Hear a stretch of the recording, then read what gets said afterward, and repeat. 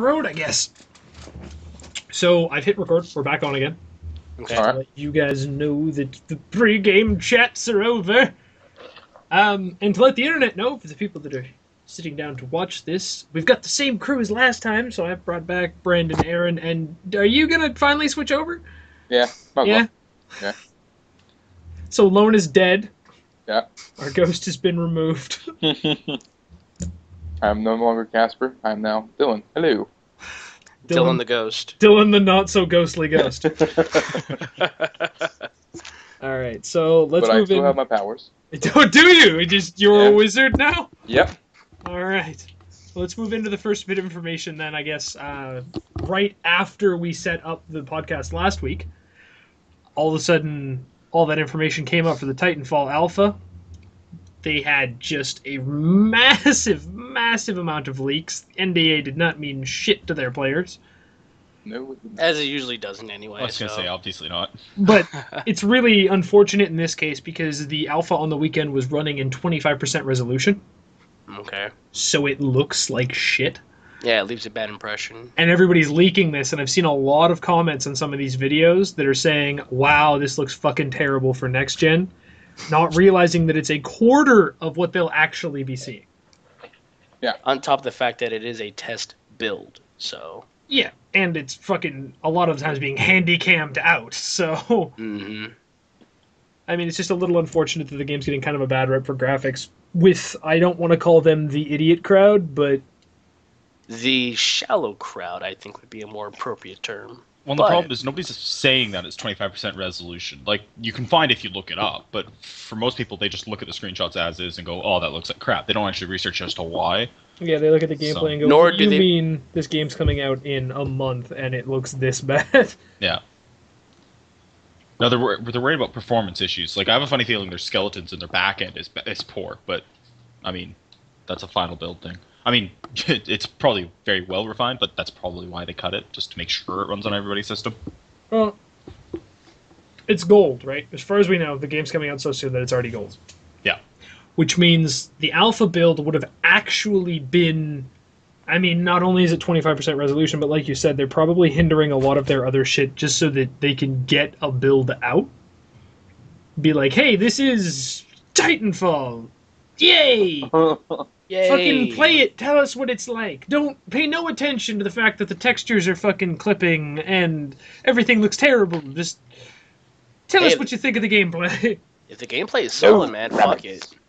But I mean, it was an alpha to stress test. This was their big stress test before the game comes out. And I mean, Brandon was talking about this off stream or off cast, but it it sounds a lot like what they're going to try and do probably is throw out a beta here soon too. So the alpha will have been their stress test. The beta will further stress test, but it'll more be an actual first look at the game. So Yep. they'll show off 100% res, and that'll probably be halfway through next month, and then the beginning of March will be the game's release date. It has to be.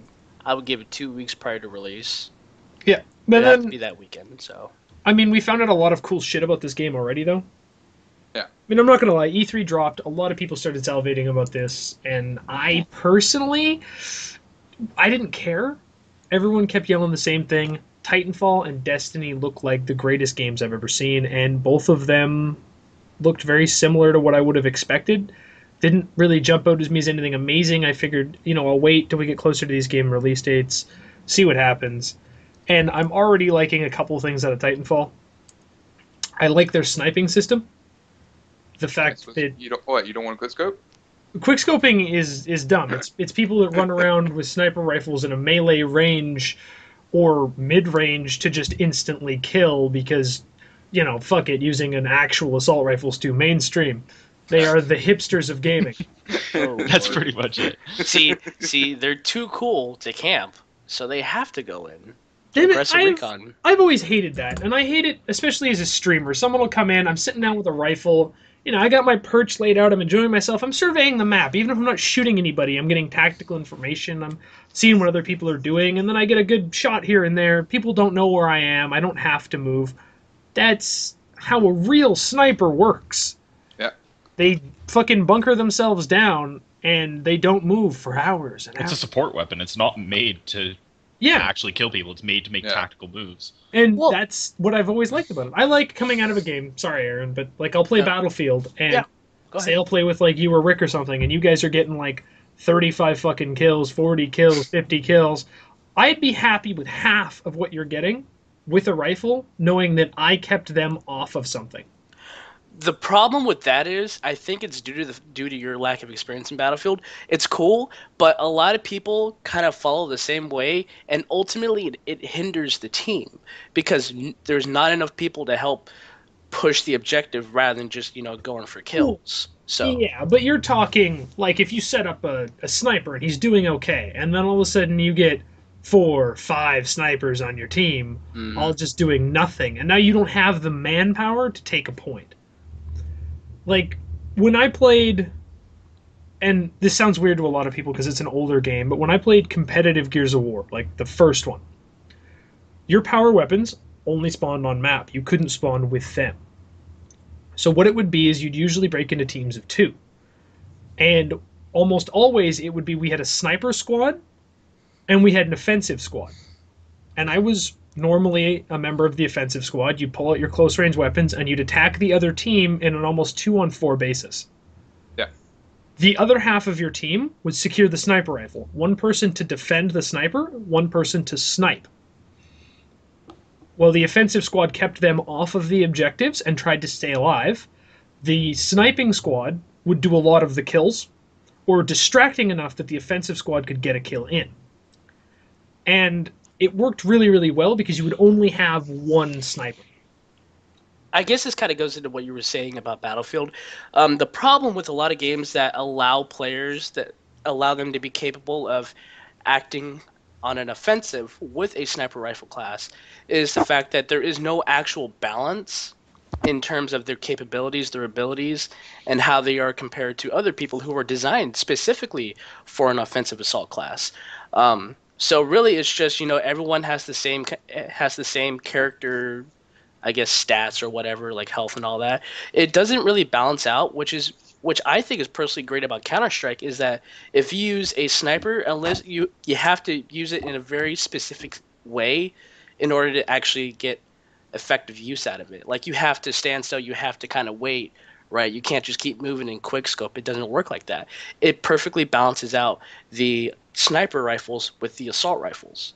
So that's that's the biggest problem with people that are really good at quick scoping, you know. So Well, I mean, when I speak, of of course, I'm speaking in a perfect world, right? So you're playing with not randoms, and everybody has a set role. So you've got an actual squad and a team. mhm. Um, I mean, I haven't played a lot of Team Fortress. I used to play Orange Box on Xbox, and that was years ago. I'd forgotten a lot.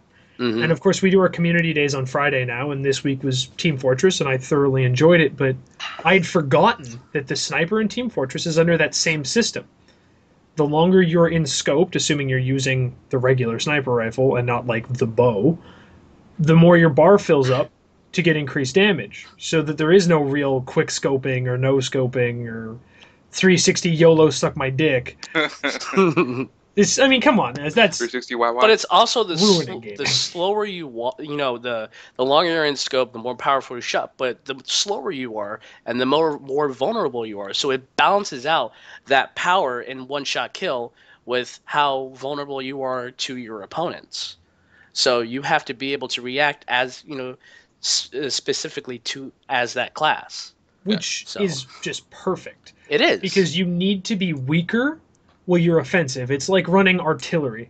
When the artillery is planted and down and firing, they are at their weakest, but they are at their deadliest. And it kind of balances that power, the ability to instantly kill an enemy, with the fact that you're going to need support. If you don't have it, they're going to get you. And I know there's people out there that are going to listen and be like, "Oh, I'm good enough to do this and that. I don't need, you know, help or I don't need backup. I'm a god sniper."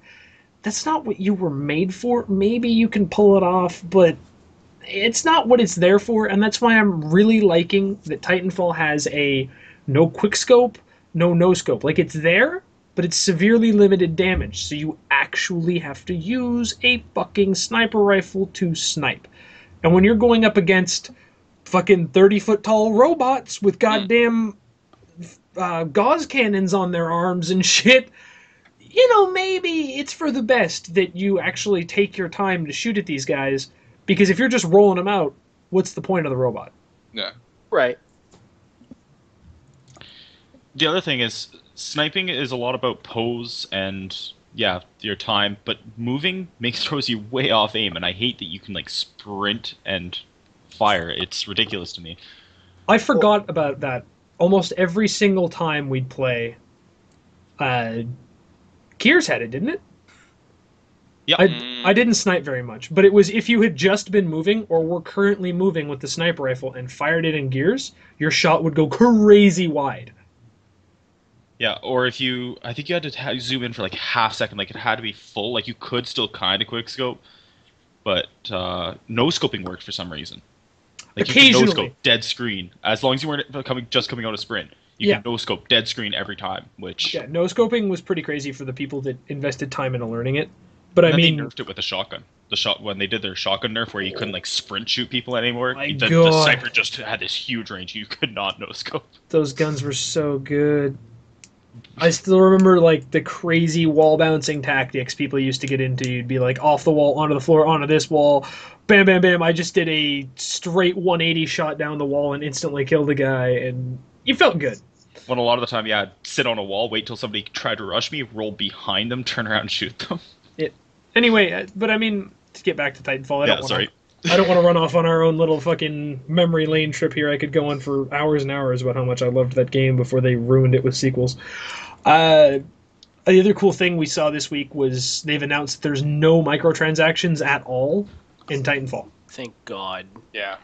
Yeah, they've made it a microtransaction list model. They haven't said anything about a season pass yet, but what hasn't had a season pass in the last like year? Especially since it's EA, there's going to be a premium pack that you're going to have that you could you might want to pay. So yeah, I don't know. All in I'm all, okay. I'm okay with the season pass. yeah, like I, I, it just gives you the content without re- purpose purposely buying it each time. I was really fighting with myself on the uh, season pass thing for Assassin's Creed because I was like, man, I really want to get this, but fuck it, and I still Yeah. just bought the DLC.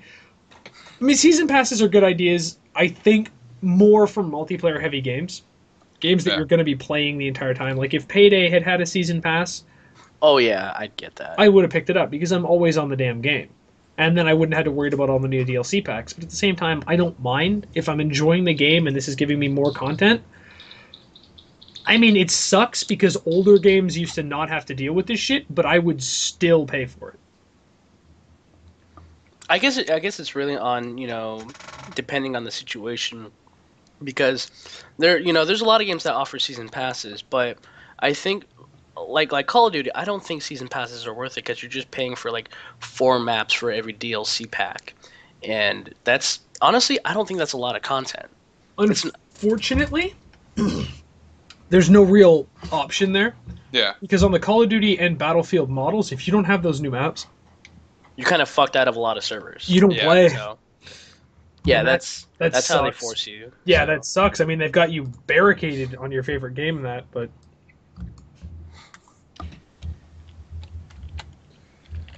I don't Yeah. Sorry. we all just paused. I was responding to a message asking what the fuck happened to playing Payday today. Um, whoopsie. I don't know. I don't unfortunately have a whole lot of information on Titanfall right now. I don't know if you guys have anything to add, but I, I really don't know a whole lot for the game coming out pretty soon.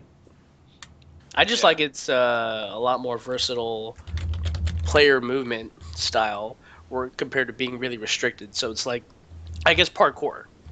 It's parkour style movement. Yeah. Well, yeah, I mean, I've, I've watched a lot of wall bouncing. Like, they jump up, kick off a wall, land on another one. They've got the jetpack thing in. I think this could potentially demonstrate a lot of versatility and dynamics between each player because not everyone is going to be, you know, bouncing back and forth, you know, like Quake 3 style, just kind of going, you know, all over the place. And then you're going to have that one person who's going to be, you know, very, very conscious about where he moves. You know, it's, it's, it kind of adds a new level of dynamics that you don't really see a lot. Well, I mean, well, it the, it gives playing always. defensively an option as well because uh, you can sit and watch how other people are moving and be able to kind of like sniper roll. Essentially, is going to be a, a big almost? roll. Well, I don't know about you guys, but there's been a few games that have done the vertical thing. I'm terrible at it. Now that they've added that other dimension where you, you don't have to worry about your surroundings anymore, you have to worry about your up and down a lot too. Like a lot of games based in space, I Yeah. or flying games, I just suck at them because I'm not used to that up and down element. You're not used to the six degrees of motion. Yeah, I mean going up and down in I that's why I'm, I'm terrible at like uh fighting games like uh what was it Warplanes is coming out. I'll Oh. probably be just atrocious at that if I ever even bother to try it because I'm just so bad at the up and down thing. I'm Well, not used to with with the tall buildings. It throws me right off. It took me forever to get used to looking at the tops of buildings and in skyscrapers and on rooftops, and Yeah. it was just a mess. But I mean, then you get used to looking up, but you don't get used to looking down anymore. Yeah. Because now you're on a roof and you assume that you're safe. Then somebody attacks you from above. So now you're paying attention to your up a little bit, and then somebody's got you from below while you're flying or jumping around, and it it would certainly Titanfall is going to be one of the more entertaining MLG games to watch when it goes into a pro circuit. Yeah, that's very true. Like it'll probably be something that I'll take time out and be like, "Holy shit, there's a Titanfall tournament on Saturday." Well, guess what I'm fucking doing. But I mean, Speaking of, I'm Yeah. sorry. Go ahead. Well, I, I was just gonna say, I, I mean, they've got the MLG TV thing too, but I'll go into that after I've let you do your. Unless that was your point. I was gonna say, speaking of MLG, there's a there was that article we ran into about MLG stating that they can make more revenue for content creators compared to Twitch. I think that's a very interesting statement and kind of a ballsy move. Well, Twitch is notorious though for not really giving a lot of money to their partners. Like a lot of people have been saying that if you make it as a okay sized channel, like you've got hundreds of people that watch you but not thousands, that you're barely making enough money to continue Yeah. Right. because you don't get a whole lot of money out of Twitch. I mean, some of those huge channels do okay, but mostly people are surviving entirely on donations, which comes not at all from Twitch. So I could see MLG TV providing content creators with more money for their content. Which But is I- really sad because ads do generate a lot of revenue. Like it, it's shocking how much you know fifty thousand viewers generates, and Well, what was it? We were looking at Reckful's channel, I think, that had the information on there that if he broadcasts 220 second ads, he makes like 20 bucks or something like that. Yeah, No. something like that. Yeah. Or, like It I think it it was, was- like yeah, like fifty or something. Like it was a little bit more, but yeah. It, No, I actually I actually think it was less. I could pull it up here right now because I know. really. Uh, ooh, just one second, my good people. And Reckful's a pretty big channel. Yeah, I mean, Reckful gets a lot of views. He's one of the uh, top World of Warcraft PvPers to be watching. Right, and he's mildly entertaining at the same time. So I mean, he gets lots of views. If I can get his bloody page to load here, fucking Twitch connecting my dick, uh, I'll know because we went onto his channel the other day because we were talking about huge donations. I spelled Twitch wrong. so we were talking about donations because there was a couple of people. Oh yeah, it's a lot less. Uh, if you hate commercials, want to support the stream, sending a dollar thirty-three is the equivalent of watching two hundred thirty-second commercials. Oh my. So, I mean, if you broadcast a 30 second commercial to 200 people, you theoretically make a buck and a third. So, I guess if you have 2,000 people watching, that's 13 bucks. Yeah. 20,000 people watching, it's 130. Yeah, you, you mostly survive off donations. Yeah, but then, I mean, we were talking about this. We were passing the thing around. It was after you left, I think, at the end of last week's podcast call. Me and Brandon were exchanging links on stuff. Mhm. And it was how Soda Poppin', just to get onto Twitch news, I guess, Soda Poppin' and Reckful uh, have both received massive donations from a certain guy in Dubai whose name escapes me right now, but he's given each of them thousands and thousands of dollars. Like they were looking at the videos where Reckful received ten thousand and one dollars and Soda Poppin received ten thousand dollars from this guy and Soda showed us his PayPal account at the time. It had twenty nine thousand dollars in it. There's Amhai, A M H A I. Am I from Dubai? Yeah. Yeah. And Mhm. it's just like the amount of donations. Like you take a look at his shit. He's like, "This is my donations. PayPal is just for donations," and he's got thirty thousand dollars in it at the time. And he's like, "I'm probably going to be moving out soon. Yay! I can't even think of what it would be like to have thirty thousand dollars. No. Like it blows my goddamn mind to even consider having that as spending cash. Like, look what I have that I can do shit with. Never Yeah. mind, he'd already built his computer and had his setup done, and he had this on the side. Yeah, but just imagine what. You, yeah, it's like you said. Just just imagine what you can do with that money left over. You know, and you can and it gives you more time, more leeway to create more content that could further help your cause. Well, that was You know? uh, that was TotalBiscuit's thing. They were talking about the YouTube thing again, where um, all those guys we talked about this before, so I won't really get into it. But all the uh, people that aren't owning content are using their bots to ping it on YouTube. Mm-hmm. And for gamers, that ruins them because gaming videos are only relevant for as long as the game is relevant. And the game is only going to be relevant for a couple of weeks, maybe a month. So if that video sits in limbo for a month, when it finally comes out, no one's going to give a shit anymore. Right. And when they had somebody on one of their casts talking about it, and they're like, "Yeah, so I think the little guys are better for these videos anyway because you know they're doing this entirely as a hobby. They don't make money. This makes sense." And he's like, "I'm gonna disagree because we do this now as a living. This is everything we have." And he's like, "Our content is better because of the money we have put into it." And he's talking about how much his microphone costs, how much his uh, other equipment costs, how much money he's gone into his computer, just everything together. He's like, I do this as a living for the viewers. And I put thousands upon thousands of dollars into this. And I know exactly how he feels. I mean, I'm a low level content creator, but I've put a lot of time, effort, and money into this. And I can see how that would be important. And if you're starving because you're not making any money, I mean, you're doing your best, but Yeah. it will only get better if you have income. Yeah, you can't create for nothing. It, it's you can, but only for so long, and it, it really is tough to keep going without having any help on that end. You Because- see, oh, Aaron.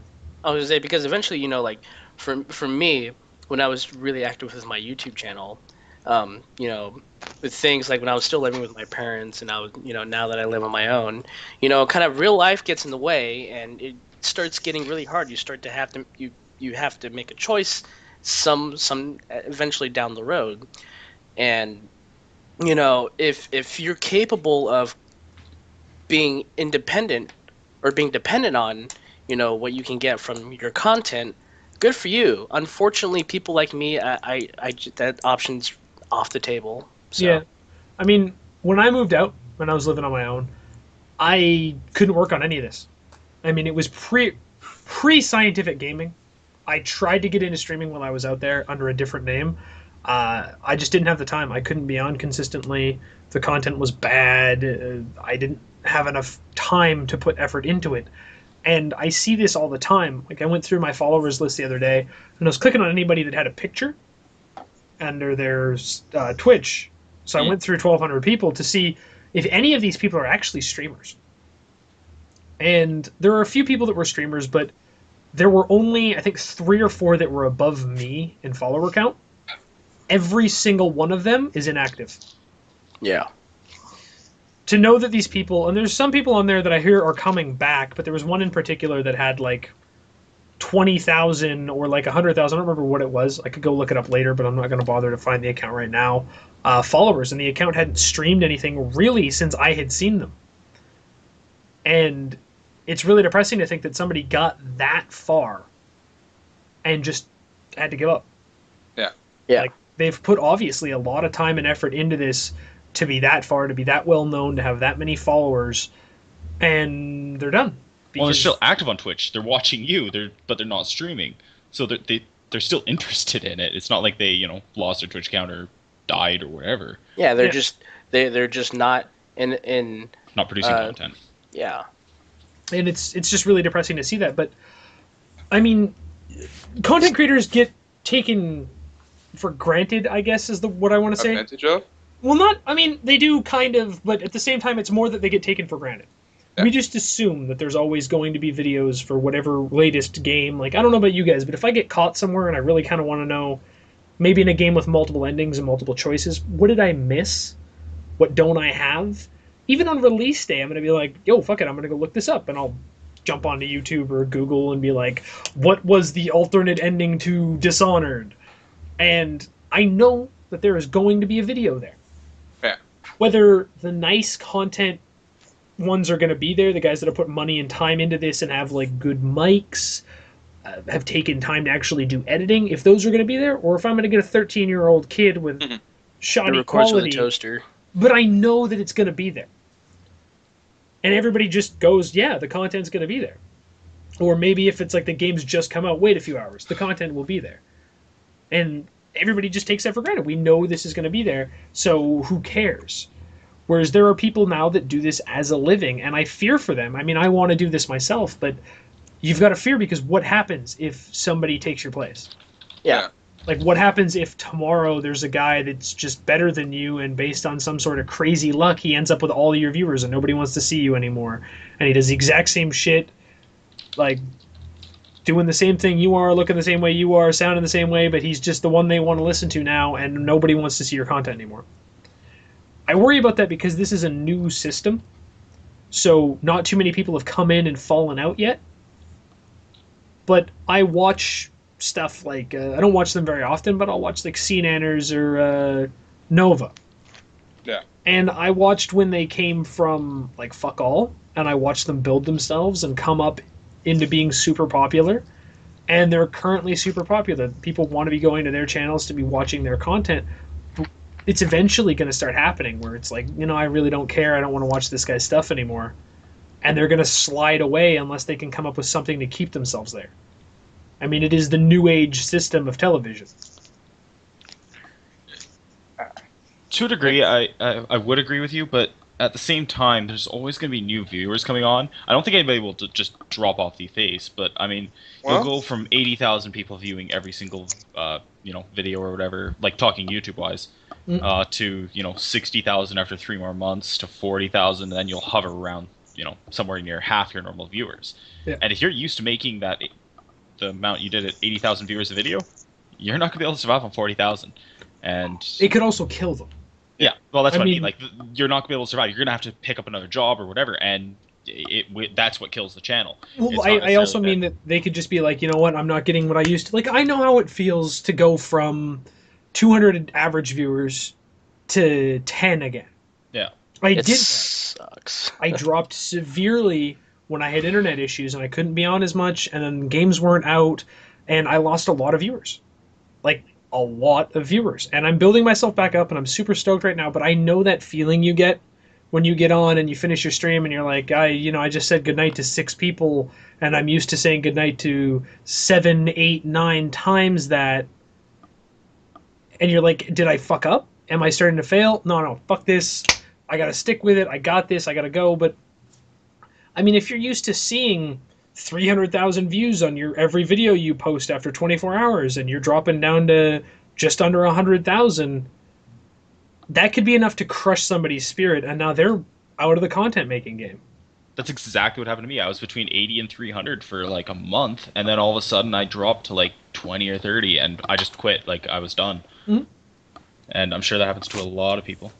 It happened to me. I'm glad I stuck with it, and I'm glad that I'm sticking with it, and I hope that I can, as we've talked about before, continue to stick with it. But it's a real issue. I haven't seen too many big names die, but we talked about it last week that Twitch had what 5,100 subbed channels, Yeah. or Yeah. so. I know of 20, maybe. Like I I, think a lot of them are in the League of Legends sort of area. Like I think that's what they kind of focus on. Yeah, and I don't What blame tournament for that. stuff and stuff like that. Yeah. Th- that's going to get weird because we were talking about the MLG TVs coming out, and they're saying that hey, for Major League games, you know, we can give you more money than Twitch can. And what if they're right? What if all MLG gaming starts to go there? What if League goes there along with like Call of Duty and Battlefield? Twitch is going to have to start looking at people like me, like um, Man vs. Game, stuff like that, that just plays a lot of different games, and we're not really MLG. We're just giving you content and fun.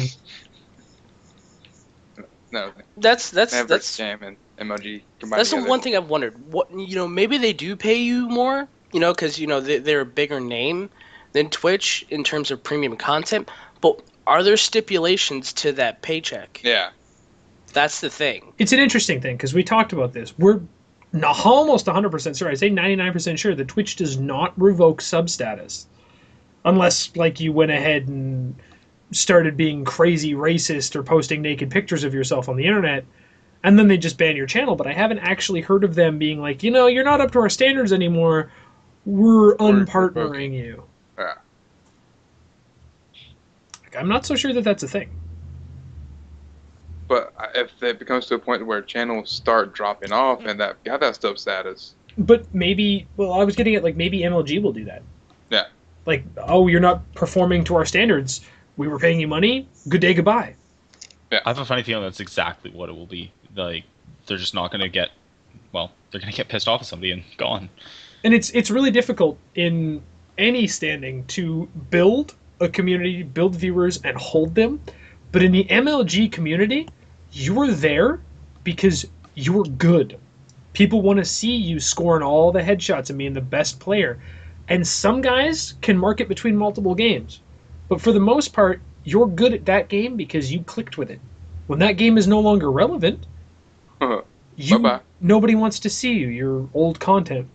Or maybe you go from Call of Duty to the new Call of Duty and you find out that it plays just a little differently and now you suck at it. Or maybe you just hate the game and now you just don't like playing it. And all of a sudden, who the hell wants to watch you? And if that was your paycheck, you're fucked. Yeah. Well, if, you, like if you don't enjoy it, you're not going to get the viewers, so there's no point in even trying it at that point. And it's not like there you can just switch. You know, I'm going to play Payday. Like, it, it's not quite that easy. mm-hmm. I I mean, MLG is an entirely different market. For Twitch, we do the same thing. So Friday was the community day. We figured we'd uh, bust out the alcohol. We'd get all the viewers in there. I think we were in a call with 12 people in Skype, Yeah. Oh yeah. and we were playing Team Fortress. It's a free game. I figured anybody can come play. You don't even need a half decent computer to play Team Fortress if you don't want to. Yeah, tw- Twitch is all about just straight up entertainment, just interaction, you know, just people socializing with each other, and it's nothing compared to MLG where it's about it's just like watching sports, you know. You watch people play competitively, you watch, you know, how a game turns out. You know, it's it's not just about personal entertainment. yeah. I, I guess that's the way to put I don't know how to put it, but No, But the- i- it's not about you as a person getting that entertainment. It's about the people. Ah, Yeah. Words and stuff. Yeah. words and stuff. I know that feeling. I, I, I feel you, dude. I feel Yeah, it. My feel, words yo. and stuff always just flowing away. But I mean, the thing I was getting at is MLG. You're a Call of Duty player. They're there to watch you play Call of Duty. You're here for COD. For here, we played Team Fortress. Like three quarters of the way through the stream, we're like, you know what? People are calling for chivalry. Not as many people have chivalry, but we'll go play chivalry. And we swapped over, and there was still like eight of us that were playing chivalry. yeah. I mean, at the end of the night, there was only the four of us, but for quite a while, there was just eight people playing Chivalry now. And I could just swap games like that on the fly, and we maintained the same amount of viewers. People were still having fun. I don't think you could do that in an MLG setting. A Little pussy. Well, no, of this There is no uh, community on the MLG. Like they're, they're there to play the game. They're there to get the highest score they can and kill as many people as they can. They're, they don't want to talk to viewers. They don't want to have people, you know, message them anything like that. Whereas that's what Twitch is all about. It's Yeah, about it's- interacting with your viewers or the other viewers. Like once you get a channel with like 800 people, the channel or, or uh, owner can't interact with them, but they interact with each other and Yeah, and then there's the cool thing you've got. Like, I do this a lot. My channel's not even that big, but sometimes I get behind and I just hope that people in my chat can entertain other people in my chat and they can, you know, be friends and build that up. But I get messages from time to time. That's what my Twitter is there for. I view it throughout the day when I'm not streaming, I'm at work or I'm working on something else. I can flip up my Twitter, be like, "What's up?" I've never not responded to a message on my Twitter. And I receive or I receive a shit ton of Steam invites and messages and stuff on Twitch as well that I can just respond to at a later date. And I can be like, "Hey, sorry I missed you in chat. You had a question. Here's the answer that I have." Like, I got a message today from a viewer that used to watch me when Payday was brand new, and I was working on my solo stealth strats. to get four stores done, all the stores, no alarms. And he messages me, and I remembered that he had been on, was Bioshock, and he's around from time to time. I haven't seen him in a little while, but he made me destroy all the China in the China shop while still trying to be stealthy. And so he messages me today. He's like, I haven't been on payday in quite a while. What's up? Like, what weapon would you suggest? Well, what do you do? He's like, I'm an enforcer. All right, what you want to do is you want to go get the heavy eagle rifle from the Gage weapon pack, uh, tool that bitch out, and you'll love her till the day you die. And he's like, Well, thank you very much. That's cool. And I'm like, Yeah, like if you have any more questions, do feel free to ask me. It's not a problem. And he's like, Well, are you going to be playing Payday tonight? I was like, No, I've got the podcast. He's like, Sweet. Like, show me the podcasts. I was like, Here they are. Have a good one. Remember, break all the China you see. And he's like, Forever and always. And I'm like, Fucking, you're the dude right there. And that was the end of our conversation. It was just a quick message, a question that I could answer, and then I'm off to my own thing again and I like that. That is cool. Whereas I think you're right. In MLG, there will be some people they talk to, but I think it's mostly the other players. Yeah. I noticed that a lot, and I guess this is more Aaron's territory in Counter Strike. hmm That all the pro Counter Strike players seem to chat more with each other than with their viewers. Yeah. Unless, you know, they give out a donation or, you know, ask for a shout out. That's pretty much all they'll do.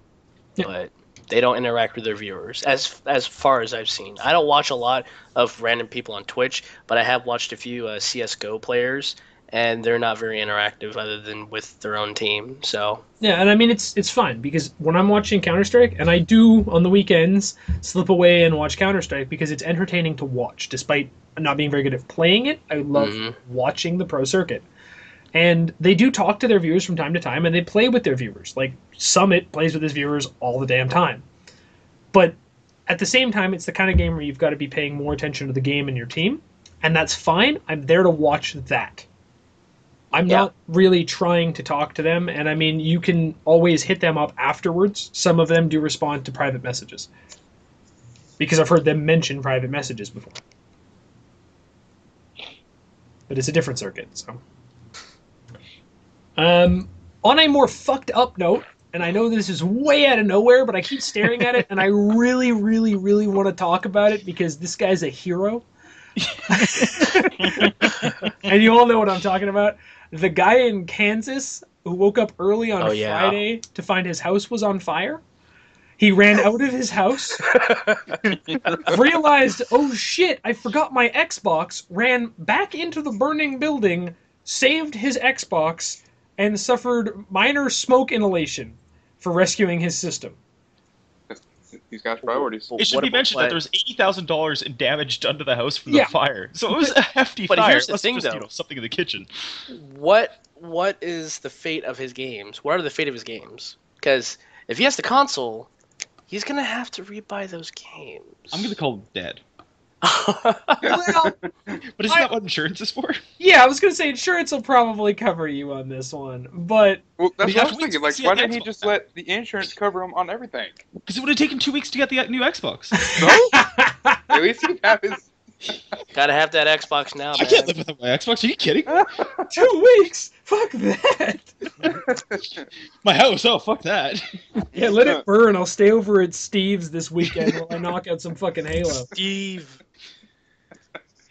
Yes. My question is: Did you do this for a 360 or an Xbox One? I have Xbox One, I could understand. It it Oh, was it really? just happened, so it's it's understand. 2014. But I have no fucking idea. It I love like the 4th or I- Friday, so the 23rd. I love with the fact that you can actually have some sort of sympathy for him if it's an Xbox One. I have I'm no. dead serious too. I I mean, if it was close to the door, yeah, sure. i'm not no, no. Wait. It, what if it was an Xbox One, and that's why he went back for it? I don't Because care what so Xbox new. it is. I've done it all my life. Because it's so new. It's not on his insurance yet. Oh, believe me, it's on his insurance. Sorry, It it doesn't be on his qualify for the 2014, you know, uh, fire insurance. and that's why he went back. Shit, it wasn't in my insurance pictures. What? What about the game? What about the Xbox One games? Does that count? No, no, Xbox One game. Game. No. Yeah, fair enough. Because it would have been Dead Rising in the console, and Ryse he's already beaten Ryse, broken in half, and there's nothing else he's done. Those are the release titles. Fuck it. I'm actually. I I haven't even looked at Dead Rising. I worked on the game and I have not touched it. I've seen like the gameplay trailer that was kind of half modeled and half real life, and Heard real bad things about it. Yeah, that's what I've heard, and I'm really scared because some of what I get paid is based on the uh, sales of the expansion. I have basically royalty in it, so I really don't want to not get paid. I've been paid a fair amount already, but I get extra. Here's the thing, though. Dead Rising was one of like two games for the Xbox One that looked appealing to me when it was launched. Because it was that, and it was Ryse looked okay, and I heard that Ryse was repetitive as shit, but people still liked it. Yeah. And I'm Pretty damn sure that Ryse was just a tech demo, if anything. but I mean, Pretty much what it was. Yeah. There was Ryse and there was Dead Rising. And Dead Rising to me looked good because I played the game for the same fucking reason that I played Saints Row. I just wanted to fuck around and watch the world burn.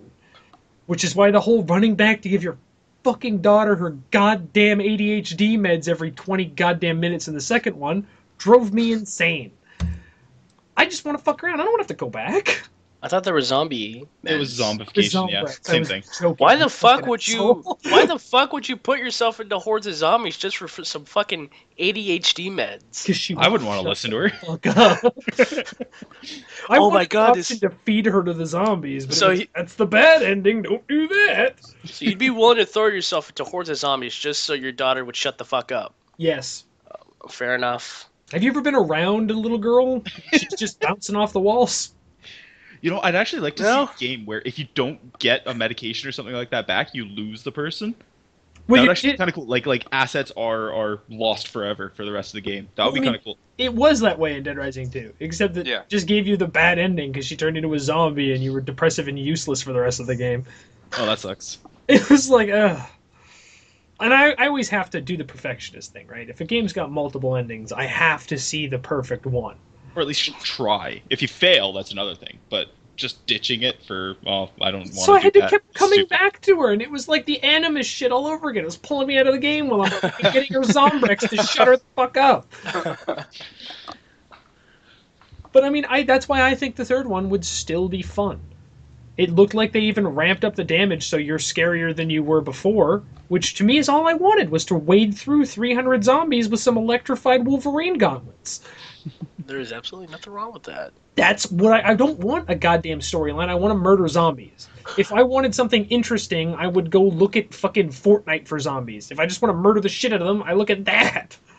Which is why I think the DLC will still sell well. It's just eh, stuff. Oh, and I learned that the DLC that I worked on is not this one. I worked on the tribute to the Dead Rising 2 character. Chuck or whatever his name was. Or no, Chuck was the first one. No, Or- No, You mean That- you worked that's the on tribute to the uh, first one. So Frank. yeah, yeah, that's the one. It's the Frank tribute. So that one should come out in March. Oh, it's not the uh the the the other one that just came out like a couple months ago. What's it No, called? it's Off not the Broken record? Eagle. I thought I thought it was Broken Eagle. Off the record was from two. Oh, okay. off the record was quite a while ago. Um, but the no, it was Operation Broken Eagle just came out, and that one was not mine. I thought it was. I was so upset. Like, what do you mean I made zero dollars? Nobody bought it. yeah. Well, that's the thing. Like, I looked because it, it'll automatically go in my PayPal, and I was looking. I'm like, what the fuck? I, nothing's sold. I'm like, is it glitched somewhere? I went back, and sure enough, no, it it wasn't my DLC, which sucks. I know we were just talking about this last week about how we'd like to see crossovers in games. Yep. About how we want to see different developers kind of meet up and be like, "Hey, let's do this."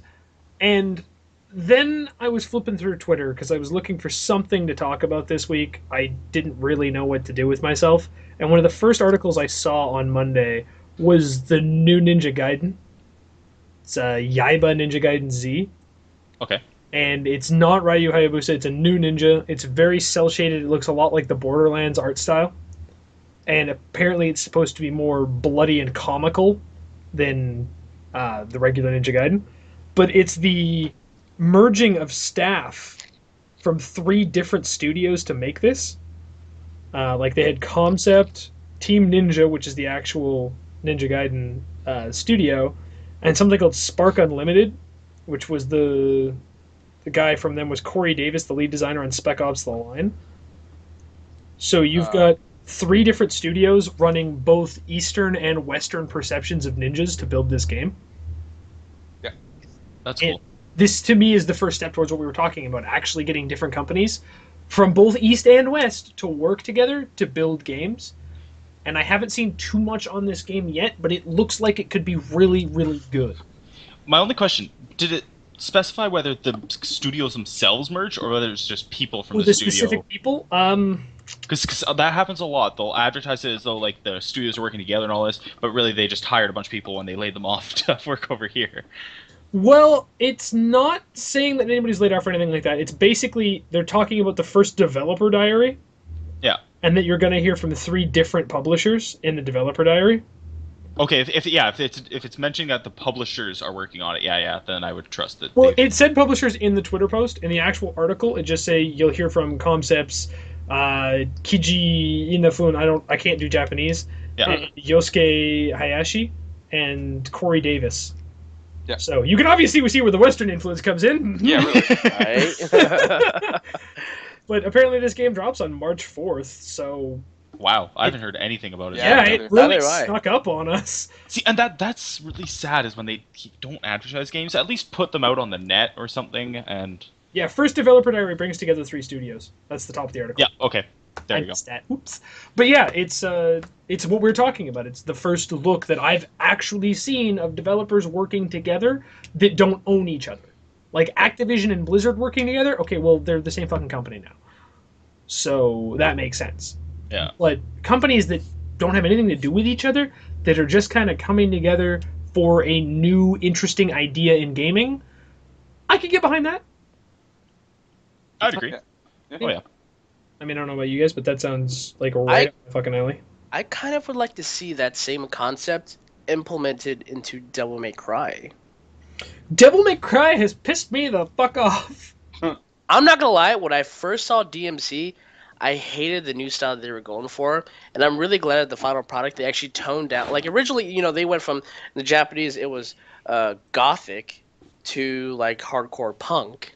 Yeah. Initially, initially it was punk, and then they kind of toned it down a little bit. It wasn't like you know uber edgy and all that. I noticed it had a little bit of gothic in it was when I was watching you play. Yeah, I when I'm not gonna lie, after playing through DMC, I honestly believe that is my favorite one. It's my favorite one out of all the Devil May Cry games, and before that, Devil May Cry 3 was my favorite. Like I honestly thought nothing could top it. Devil May Cry 4 was okay. Nobody wants to talk about DMC 2. Oh god. Um, Well, But- I mean, here's the thing. When I played these games, I could have given a fuck less about the gameplay. Because it's to me just a hack and slash. Like it's Devil May Cry has been super easy since the first one that I played. okay. I loved the characters and the story and the comedy. Yeah. And when I realized that they were making him a cocky, smart-ass kid, I was like, "Fuck! I don't want to watch that. I want to watch the fucking old wise get stabbed through the chest and starts giggling kind of fucking Dante." but he wasn't even I, I don't want to say he's necessarily cocky he's more or less just kind of apathetic like he he kind of gives off a cocky vibe but he's more or less just kind of apathetic about it but the way, how i want to see like a merger done between the old capcom company and uh, what was it ninja theory I have no idea. Yeah, I don't. well know. basically the, the the western the new dmc yeah, no, I know, but I'm, DMC. I'm not sure what the name of it is.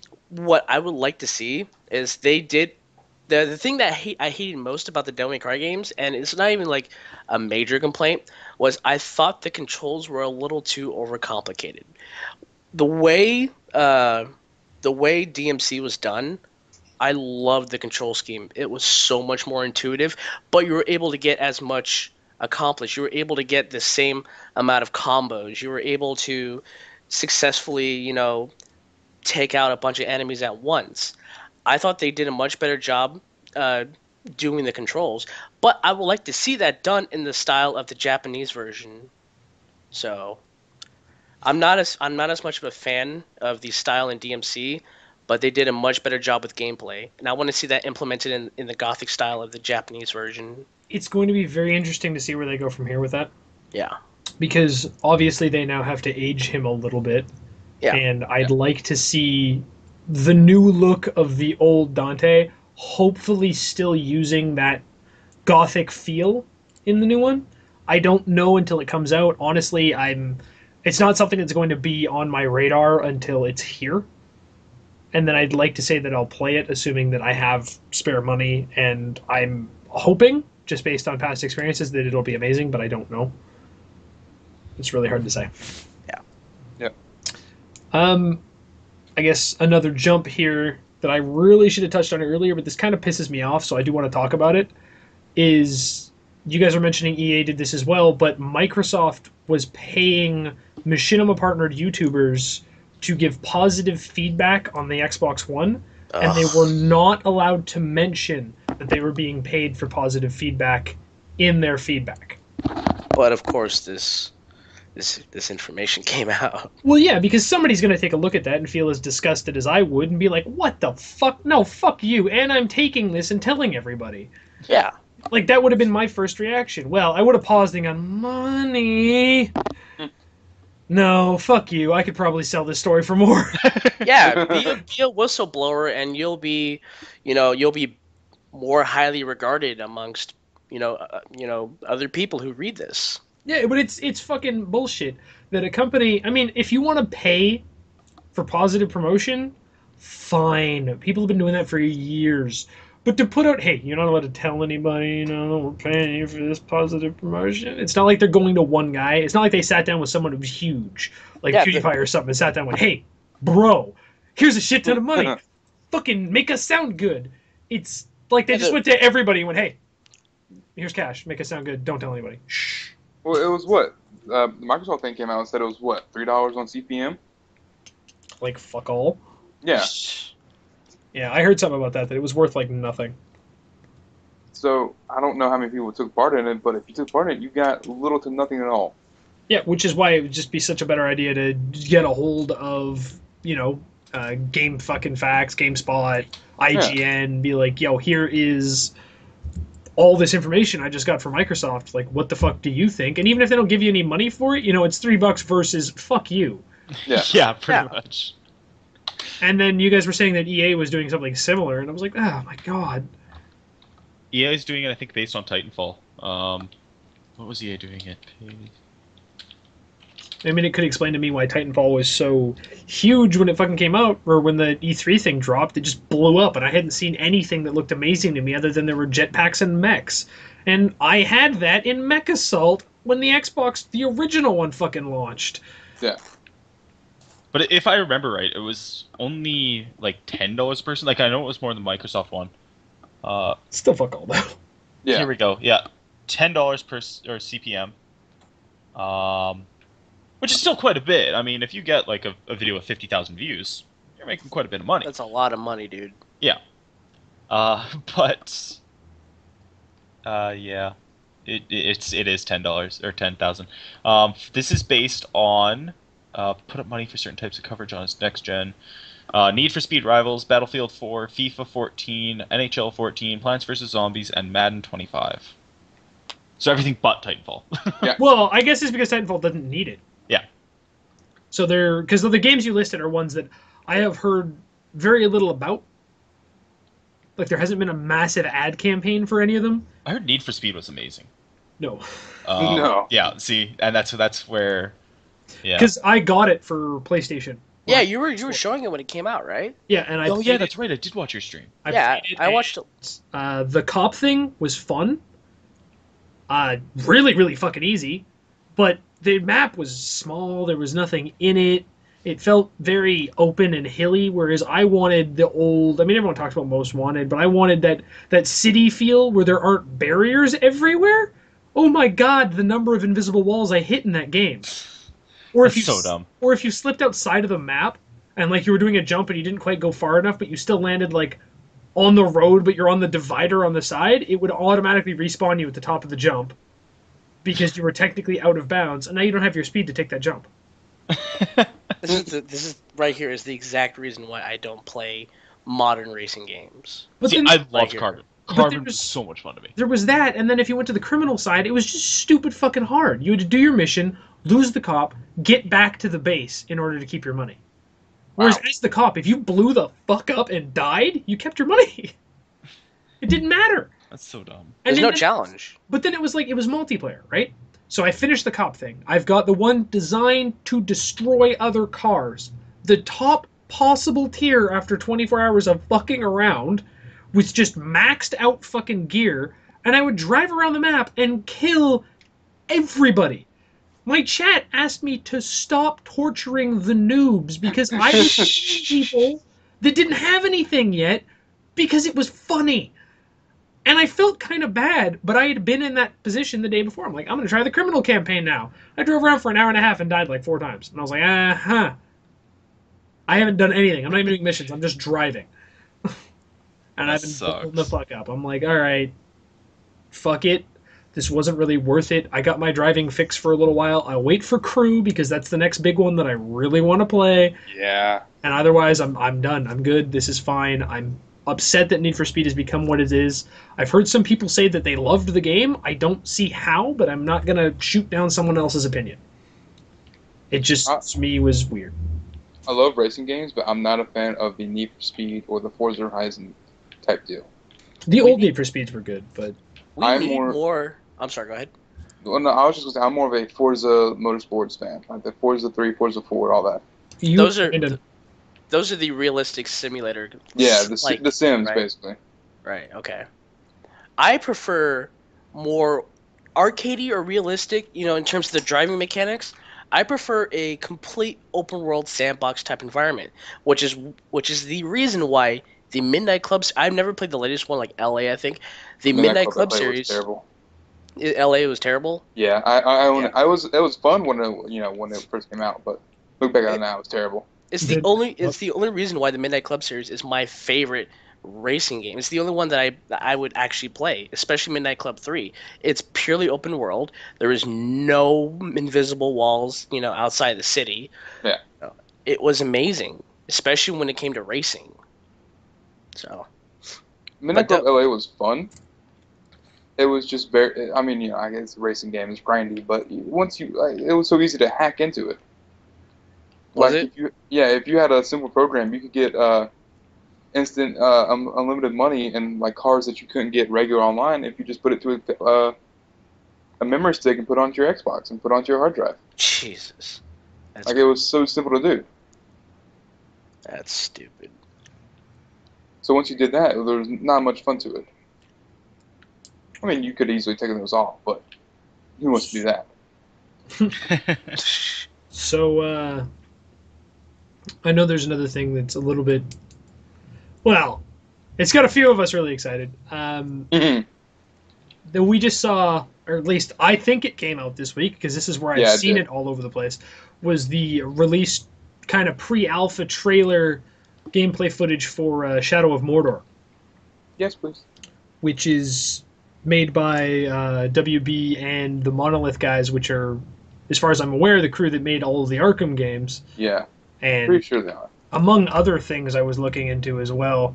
of course, I can't find my tab right now. There we go. Uh, t- t- so these guys made Fear, Condemned, Gotham City Imposters, and Guardians of Middle Earth. And they've now released the trailer for Middle Earth Shadow of Mordor, and it's got, I mean, obviously a very Assassin's Creed feel to it. It's got the uh, like Batman combat style to it. It's got the Nemesis system, which is every time you play, your enemies, not like the little guys running around that are all The fucking copy pasted, but the actual important enemies are randomly generated. Their looks, their weapons, their actions, their personality is generated, swapped around, and placed in the game. Their names are changed and placed, and they have a memory system. Yeah. So they were showing off uh, the memory of pre- prior to us watching the trailer. Apparently, the character had attacked a bunch of the leaders, severely burned the head orc that they were looking for, and scared the shit out of some of the smaller ones. And then it shows him fighting with them, and the smaller one he fights remembers him and what he did. It shows that he's got a coward's heart built into his AI, so he immediately starts running when the tide turns against him. and that showed off a lot of the really amazing combat mechanics Uh, uh, where he starts just fading With in the- and out of the wraith yeah, world the- and yeah. teleporting. And then it shows that the enemy remembered him and all that. And when he fights the boss, that guy also remembers that you burned my face and starts yelling at him for the injury previously sustained, which isn't you know like a cutscene. You put his face in the fire and he remembers that that cutscene happened. It's just how you happen to have attacked him, and he remembers it. Yeah. And it's really really interesting to see a lot of this stuff going on, especially because this game has a full range of mind control esque abilities. It shows him grabbing one of the lower level orcs and bending him to his will so he can either send him to spy, uh, spread word of this demon ghost creature that's murdering the orcs to the other orcs to scare them. Uh, you can send him to attempt to assassinate. Even if you know he's going to fail at assassination, you can now follow him to his mark and use him as an entry point and his minions as a distraction or corrupt more orcs to your will. And you can play this game in an entire stealth setting, like I would love to try, or you could say, fuck this, I'm a god, and run through them just murdering the shit out of people. Oh, that's me. Yeah, like I was looking at some of it. They've got the teleportation for the Wraith magic, big AoE attacks, uh, being able to bend enemies to your will and use them to fight for you. And there was no restriction on that. Like it showed him bending a minor boss and an ogre. Yeah. Like everybody is my pawn. Murder everything. And then it just showed like straight up combat. They're like, if you want to go loud, and it just shows him cutting like three guys in half or chucking them off of towers, and I'm like, ooh, I may have to play this twice. but this is pre-alpha. Like we don't know a lot about this game, and they've already been yelled at by what's this guy's name? Former Ubisoft developer Charles, Randall. Randall. Yeah. Charles Randall was saying that the animations for air takedowns and assets for assassinations were stolen directly from Assassin's Creed 2 that he made. Um, there's been no conversation about this at all. Like they haven't responded to these allegations. I honestly think it's a bunch of shit. It sounds as though he's trying to get his name in the credits for doing no work. I don't Yeah. think they stole anything from him. I think it's just No. similar looking. Well, because I, I watched the aerial takedown, and it looks like every generic aerial takedown that I have seen in gaming for years. The only thing is, when he jumps, he puts out both of his arms in that Ezio kind of thing where he's lining up his shot when he jumps before impacting. But I think they put that animation in because during the trailer, he comes out of his wraith form and jumps in the same motion. And you can watch his body bending between ethereal and physical and I think they wanted his arms out to show more of the animation.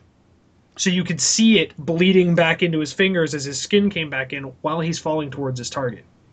I think it was an artistic approach and had nothing to do with assassinations. See, and a lot of time, you put it into your alpha stage, or you put it to like they'll pull, uh, you know, random people off the streets. They'll pull eight people and ask them what they think. Well, people are obviously gonna go for more of an assassination-looking thing, right?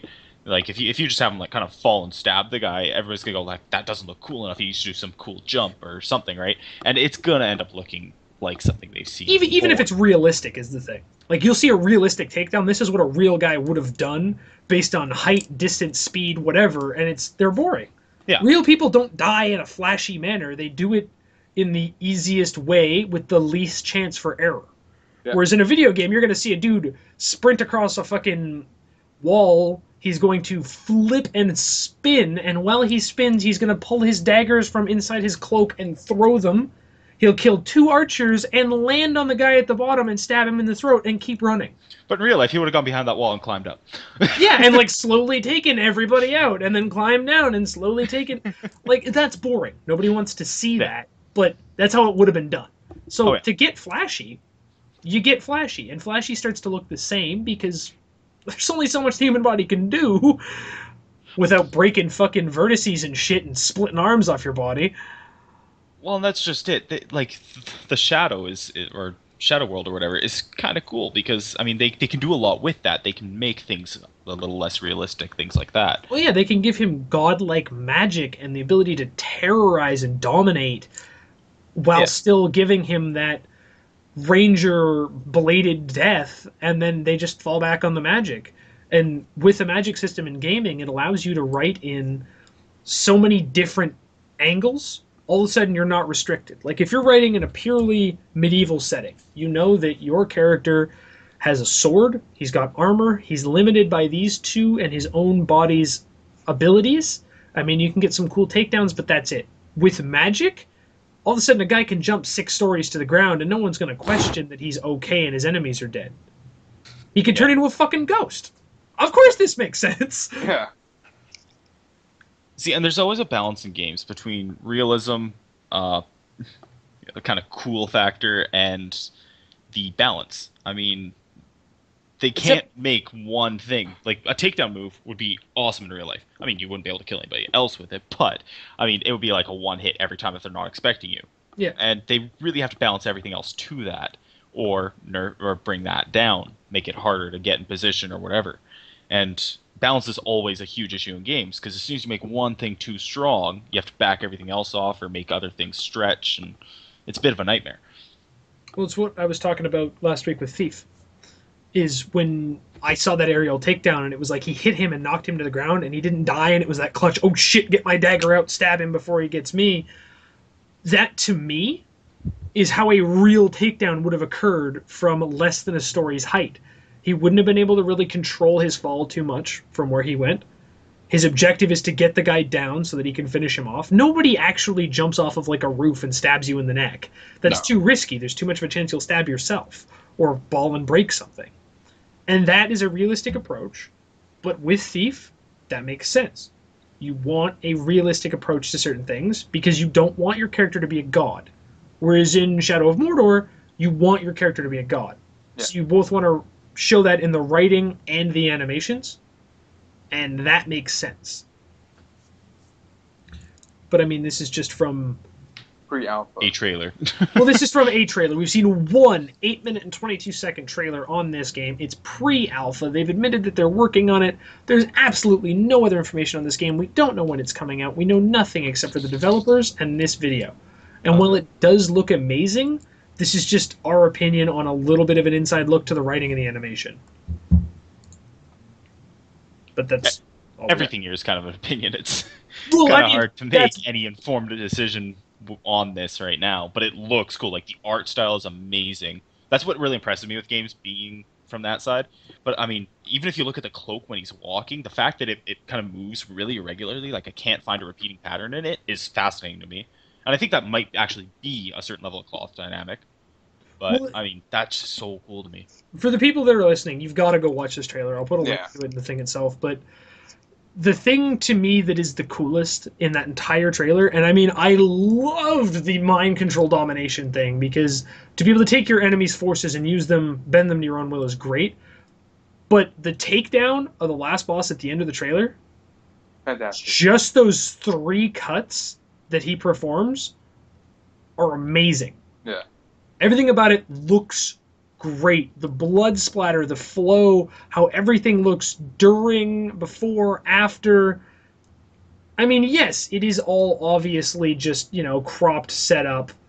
You know, here is what we're showing the public, so it's got to be flawless. It still looks just godlike, especially for pre alpha footage. It's not like this is polished, finished. This is, man, we're kind of starting to work on it now. Well, the orc, uh, the orcs themselves look amazing too. I mean, they look like they're sweating and like slimy looking, and like I don't know why, but I, I love that with kind of mini bosses and creatures. It's it's like the main character always looks fantastic, but the uh, I like how the minor characters are looking now. From a lore point of view, though, I also love the shit out of this from like a writing and lore point of view because when you look at these characters, this is an in-depth look at Orc and Uruk-hai and all that shit society in Lord of the Rings that you don't Yeah. normally get. I mean, all the games I've played before, and I've played a lot of Lord of the Rings games, is we're gonna fuck around in the Shire, we're gonna fuck around and show the elves, we're gonna fuck around with the dwarves, we're gonna try and fan service the ever loving shit out of rangers and pretend that all of them were just gods among men, and we're gonna redo the storyline of the movie thirty thousand different goddamn times. You never really see in anything like this that gets a lot of games the other side. Yeah. Like here is you literally beyond the veil. You are hanging out in motherfucking Mordor, a place people apparently don't just fucking walk into and start slaughtering people as it took three fucking movies. It's like you are seeing their society. They're not just mindless creatures. This is their world. And it's really nice to get to see how the other side lives. It's a breath of fresh air in the series. It's a breath of fresh air in gaming. Yeah. Like, was it Overlord? I loved that game because you got to see the evil side of things. You never get to see that shit. See, I didn't play much Overlord. I played a bit of Overlord 2. Aren't there three of them now? Uh, one of them is the. It's like a spin off where you play as the imps. Oh yeah, yeah, yeah. Yeah, Yeah, That- I've never played that one. I played one and two. Okay. Yeah, and I mean, I loved it because it was.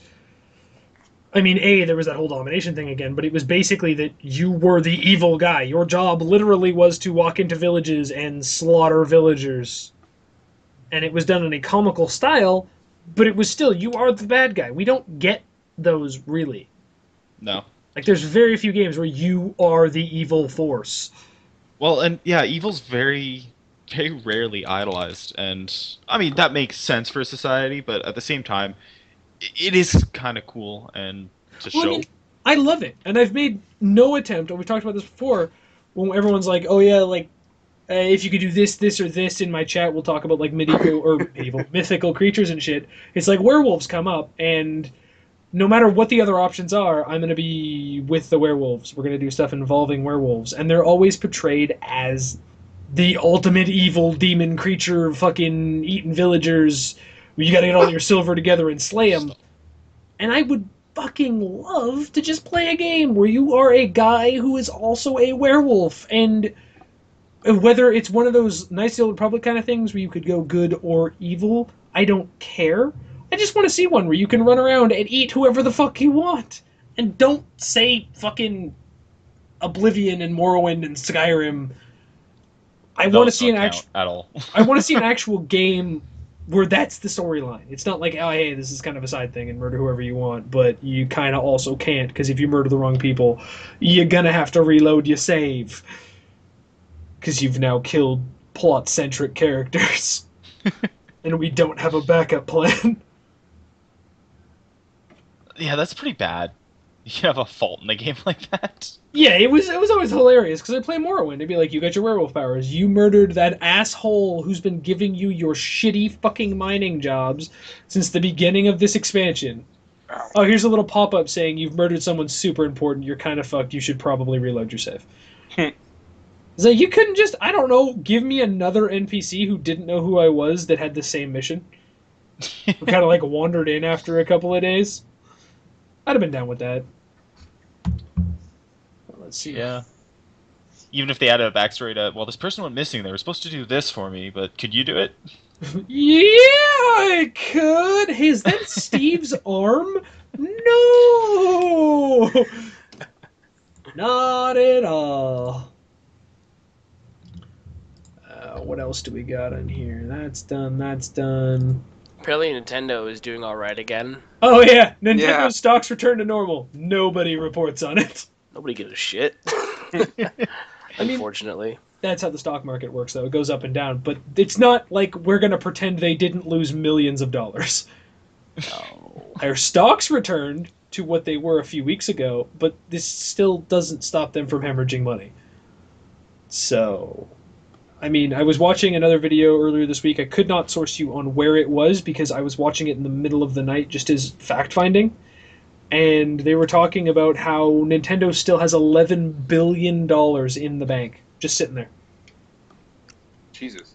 Wow. Well, the problem is, do you want to put that into saving your, or at least, well, I wouldn't say saving, but another attempt at saving, or would you rather just take that and run? cut it and run. But then they were quoting that Nintendo's worth was like eighteen billion dollars as a company, but eleven billion of that is the cash they have in bank. Yeah. see, yeah, that's that's not a lot of value in assets. So No, if you've got a lot, or if you've got over half in the bank, you're doing something wrong. Yeah, Yeah. so it means the company is worth like seven to eight billion dollars, which what was it they were quoting? Nintendo with their cash in bank is worth more than EA and somebody else. I can't remember combined. Like they're worth a lot of fucking money, but they're comparing Nintendo to developers of games. They should be comparing Nintendo to developers of consoles. Yeah, I was gonna say like a Sony or Yeah, like how are they doing compared to Sony? And actually, the answer to that question is surprising. Nintendo is doing better than Sony. Serious. Uh, okay, Microsoft's got to be doing better than Nintendo though. Uh, There's no way. I don't know with that with that bomb of the Xbox One launch. That's That wasn't might really a be- It, bomb. it really didn't bomb though. No, No. they made money. Uh, the thing is, everybody talks about how it bombed because uh, of how well E3 went for Sony. But it's not like they lost money or did badly. They didn't They lose just- money, but it, it seems like they got a lot of bad press for it at Oh yeah, Yeah. launch. they got Well, a lot of thing. bad press, Yeah. and they didn't win the console release. But they're not dead. They're not losing money. They're not really behind because Sony didn't have any fucking consoles to sell. Yeah. I, I think they sold 63% of Sony sales right now. Yeah, That's but I think it works. Sony was sold out everywhere. Xbox was not, and that's not because Xbox didn't do well. They had more stock, They, they were more prepared, straight which up. But which at the same means time, that Sony didn't sell, and they could have, and a lot of people bought Xboxes because there weren't any PlayStations. yeah. So it just seems like Sony was just ill prepared oh, for yeah. release. I don't think they were expecting to be as popular as they were. And also part of it is you want to hype it up. You want people talking about, "Oh, I couldn't get that console. I'm so excited when I can get it." Or Apple like, does that shit every fucking exactly. three quarters. Well, they'll, they'll throw 500 iPhones when they know they're going to sell 3,000 from that store. Why wouldn't you just put like at least 200 2,000 in there? Like, Yeah, then at least maybe you're not sold out, or maybe you're just barely sold out. But it it gets to the point where people run around all the place. I can't get an iPhone. I can't get an iPhone. Apple must be doing so well because I can't get an iPhone. It's so good. It's no, no, no. they That's haven't exactly released what it is. new good tech in like three years. Every time they release a new phone, it's on par or weaker than its competition currently out in other markets. And those competition have been out for six to seven months. Yeah. And they're about to release a new phone. And as soon as they release it, guess what? It just dominated Apple. And it drives me nuts. And I guess this is a little tangent I'll spin off on just for like two seconds. I had a customer come in once, wanted to talk to us because we sell cell phones. That's what I do outside of streaming. And he comes in and he wants to chat us up about Apple. And he is gushing as only a fanboy can gush. And I didn't want to talk to him because our standpoint is if they like something, don't bother trying to convert them. You're just going to get into an argument with the customer. Let them be happy. Let them have their product. Keep your professional opinion to yourself unless they ask for it. And if they vehement, if they fucking terribly, terribly disagree with you, just let them have it. Be like, all right, maybe you're right. Just get them to go about their business. But he comes in and he's talking up Apple and how it's the greatest thing since sliced bread. And he kept demanding our opinion. So we gave it, and he started to get almost mad at us. So I shut him down. I'm like, I don't have time. I'm sorry, sir. I have other things to do. And he got mad at me because I wouldn't debate with him, quote unquote, because his version of debating was screaming. I hate people that can't How- argue properly. How dare you have an opinion different than mine? How Exactly. dare you? Well, then he got really mad at me because I broke the, the cardinal rule of debating. He asked me to defend my point, and I told him I didn't have to. And how mad he got. He freaked out and went to go leave, and I started laughing, and he came back, got really mad at me. And I'm like, sir, listen, I apologize. I know I'm not supposed to do that in a debate setting, but you came in and started shaking in anger at our disagreements. And that is an unfortunate fact is Apple fanboys, and nothing against Apple. They're not bad. They're just not as good as they could be. And a lot of people hate on them because the hype behind Apple products is huge. And I don't think they deserve the hype they get, but that doesn't mean they're bad. The issue is the fanboys for certain products, and this can be said about the console Oh, wars, yeah. is just stupid. Like, I'll bring it to the console wars. I have people come in and they'll talk about it all the time. They'll be like, What system are you getting? And this has been a real common question since the release of the new systems. People come in, they go, Yo, yo, yo, Xbox, PlayStation, fucking, I guess maybe Nintendo if I want to include it. what are you getting? And they'll like look me right in the eye and be like, oh my god, is this guy on my side or is he against me? Like, are we about to get in an argument or are we gonna be like best friends? Does it fucking matter? And I'll look them right in the eye every time. I'm like, I bought a PlayStation, and if they're an Xbox fanboy, I watch them kind of be like, oh my god, like you're an idiot. And I just shake my head. I go, listen, I didn't buy it because I'm a fanboy. Fanboyism died in me in grade 11. Before I even finished high school, I realized that fanboyism is dumb as shit. The reason I bought a Sony is because I play more RPGs than I play FPS. And statistically, based on the PS3 and Xbox 360, Microsoft is going to release more shooters, and Sony's going to release more RPGs as their exclusives. Everything else will be shared. So is coming from- chances are I'm going to get more RPGs out of this, and that's the only reason I bought it. This will be coming from a person that has a lot of different operating systems and a lot of different things from different companies. Like currently, I'm holding in my hand an iPhone 4S. I'm talking to you on a Samsung laptop, playing on an Xbox 360, which is Microsoft, and I've had people ask me like, "Well, are you a fanboy of this? Are you a fanboy of that?" No, I like all products. If it works, Yeah, I if like it it. works and I enjoy it, if it's a good operating system, I like it. kind of kind of going back to where Jerry was mentioning where you know his fanboyism died. I was I I wanted I I, I kind of hate to admit it, but I was kind of the whole I I used to be part of that argument. It was like oh PC versus or Windows versus Macintosh and all blah blah blah blah blah. It me was, too. it, it was so it was uh, you know it, it was I think I was 18 at the time or I don't know maybe a couple years older, but I realized you know I was kind of I, I indulged myself in the ignorant arguments between the two and it kind of made it, it made me develop my own blind opinion about it. And then after personally experiencing uh, apple products myself i don't necessarily like what they're doing personally but i think they develop excellent products but they are extremely arrogant about it Here's the Oh, thing. definitely, definitely. same and they th- and i think the, from what i've seen they treat their customers like fucking idiots just based on how they present their product Well, and that's exactly what their product's for, to be honest with you. Apple Yeah. products are made to be consistent across every Board. generation, th- or provide Prior same to the five. but to- but do, but, yeah. but well, the doesn't- five added an extra row. Ooh. but doesn't that also prove just how excellent their software is you can't you can't lie they make excellent software They do.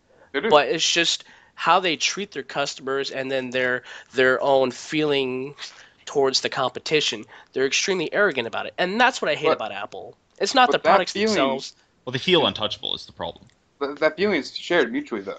If you ever like, whenever I went to go buy my laptop, I was originally, uh, you might hate me for this, but I don't care. I was literally looking at a Mac. For the Mhm, fact that it was simplicity, simplicity, and it was pretty much the same throughout the board. No, you see, here's the thing. I used to have the problem Aaron had. I was I loved Windows. Why? I'd always used Windows. So Mac's alien, fuck Mac, I hate Mac. When you actually look into these things, um, PC is where you should probably invest your time and money as someone who sells computers. Oh, Mhm. as somebody who sells computers, that's where you should invest your money. If you want to get into gaming, or if you're just a casual user, PC is great for both of these things. Mac is a professional PC. Mac is for the people that are creating hardcore video content, that are creating their own sound. If you're getting into sound engineering, get a Mac. They've Oh, yeah. got all the best programs for both of these things. Everything, everything, and I cannot stress this enough to anybody who's a fanboy over anything. Everything has a place. If you think that Apple sucks and Samsung's the way to go, what would happen if Apple disappeared tomorrow? Samsung wouldn't develop nearly as fast as they are. Your precious phones, my precious phone, would suck ass. Everything. but- I mean, What- and my parents were kind of the same way. How I felt like they absolutely hated Apple products. And then recently, you know, my dad got my mom an iPhone, and you know, she's the woman that absolutely hated modern technology. She never thought of herself as using a smartphone. She had a she had a fucking Razr, God. a Razr. She was God. fine with that. The I had one Razr in 06. or the flip Razr? The flip Razr. Oh god. Oh. yeah, the flip Razr. And um, my uh, I think it was last year. My dad bought my mom an iPhone five. She thought she could never get into it. She thought it was just extremely complicated. She can't get her fucking hands off it now. And now my dad got her an iPad. I tried like my my sister in law. She got the first or second gen iPad. I thought it was okay. It was really clunky, but when I when my dad got my mom the iPad Air for Christmas, I actually kind of fell in love with it. I I liked it. I mean, I wouldn't consider getting one because I think it's overpriced, but yeah, oh, I, I I liked it. It's great for my parents, but it's not great for me. You know, I would rather get like an Android based platform from personally. But But well, where I was going with my story was whenever I was looking at laptops, so this was for school. So when I was looking at that stuff, I was looking at the 15 inch non. I think I was looking at the non Retina, which whoop de doo Retina. Yeah. We don't really need that. doesn't that Um, just mean higher resolution? Yeah. Okay. Uh, it's more pixels than the eye can see, basically. Um, so when I was looking at that, I was looking at the price point of about thirteen hundred dollars, and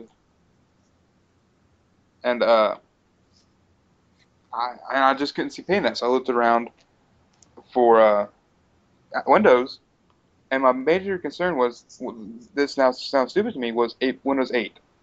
I Oh, just, I just thought I could never get used to it because I had gone from Windows 7. Windows 8 is a phenomenal operating system. It is. It just got a lot of really bad rep at release because it's different. Yeah, and well, now using this, I could not switch to anything else really. and people are naturally resistant to change. The only problem I had personally with the uh, Windows 8 was that no programs worked on it. Like I'm a 3D modeler, so of course none of my 3D programs would open. None of them would uh, load files. Like And of course, they all do now. Yeah. they all they all do now. Yeah. Yeah. Uh, well, except for actually my Photoshop plugins are broken, which I could not work without. But other than that, yeah. But that was the biggest problem I had with it. It's a fine interface, but I mean, I was trying to teach at the house I'm living at now. I was fixing their new computer or their old computer for it, and they actually bought a Windows 7 because the Windows 8 they just could not get. They didn't understand that there was no toolbar, and I couldn't show them where the programs were, and it was just too much for them. They're they're like 70 years old, and they can't learn a completely new interface. Now that they've added the toolbar and that, it would probably be better for them, but it, they couldn't handle it, and I feel bad for people who are technologically illiterate like that, and like like that's why Mac's so good is they do stay consistent. Yeah, yeah. Well, we they- live in an elderly community. Yeah. For what it's worth, the city that me and Ryan live in is uh, very, very elderly. And I work in one of two electronics stores in the area. So I get to see a lot of those technologically completely illiterate old people that come in. And if they're willing to work with me, I will teach them everything. They can come in for a little bit at a time, and I'll let them go with that, get used to that, come back. I will teach you again. It doesn't matter. So long as I can show you, I don't have to do it over the phone, that's fine. I've noticed with their generation a lot, though, you get people that come in that don't want to learn. Yeah. They don't care. They want everything handed to them, and screw you if you try and teach me. I was gonna say, but they demand that it work. But they demand that it work. Yeah, that's the other thing. And I get a lot of people that come in, they'll literally just come in, throw down like a $900 smartphone on the table and be like, this thing is the biggest piece of shit I've ever seen. It fucking sucks. It doesn't work. And they'll throw their hands up. I had a lady hand me a Samsung Galaxy S3, told me it's broken, fucking keep it, and walked out of the store and never came back. Wow. how was it? It's fine. The screen was cracked. Aren't those like relatively cheap to replace? It was 11 bucks. Oh, there you go. With Yeah, there you shipping, go. it was 11 bucks. The digitizer was fine. The screen was broken. Wow. It was 11 bucks to fix a $700 fucking phone.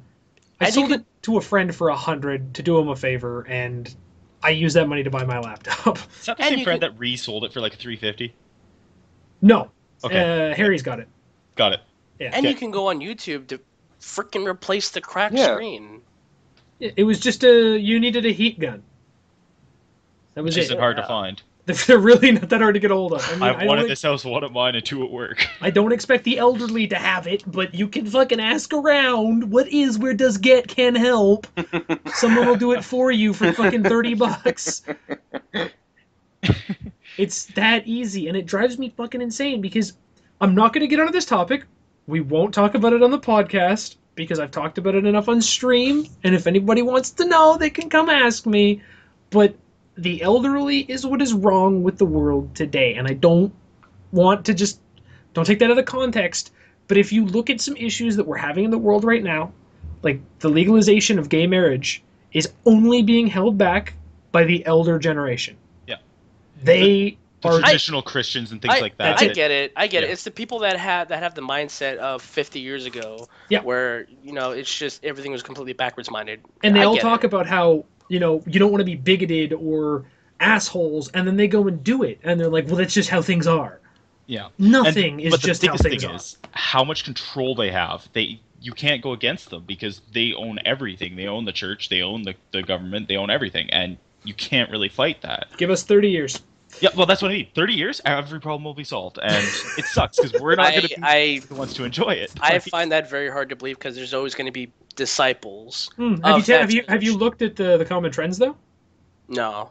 most of those disciples are like us how many people i've talked to that have traditional and i don't want to get against christianity because christianity is fine if you need something to believe in and you want to go christianity is really really not a bad route so long as you keep your mind open to other people having different opinions And you find the right group of people to be. yeah i mean that's fine like we talk about all the time on stream how john i think is one of the most per- perfect christians that i'll ever meet and he's a friend of mine Mhm. because he is willing to tell you whatever you want to know about the Bible. He will explain to you only as far as you want it to go.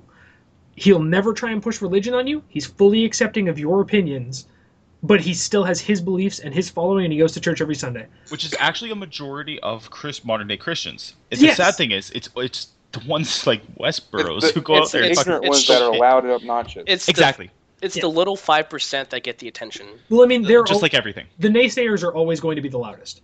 But the thing is, it's it's holding them. But a lot of people have come to me and been like, I hang out with these people all the time.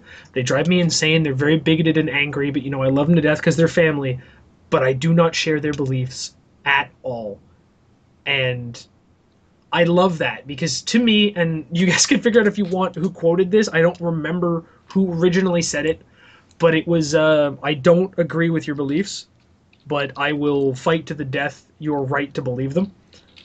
oh, You've heard the I've heard I've heard of that. Yeah. Yeah.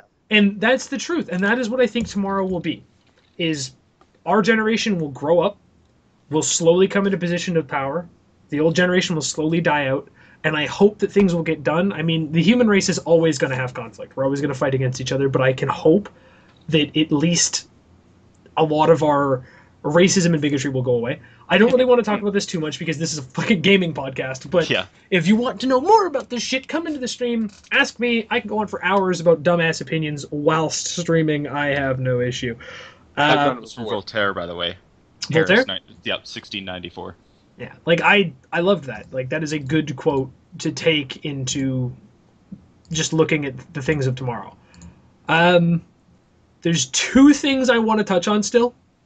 Hmm. That I can think of at least. One is, can you believe how motherfucking dumb trademarking the word candy by Candy Crush. Wait, wait, wait.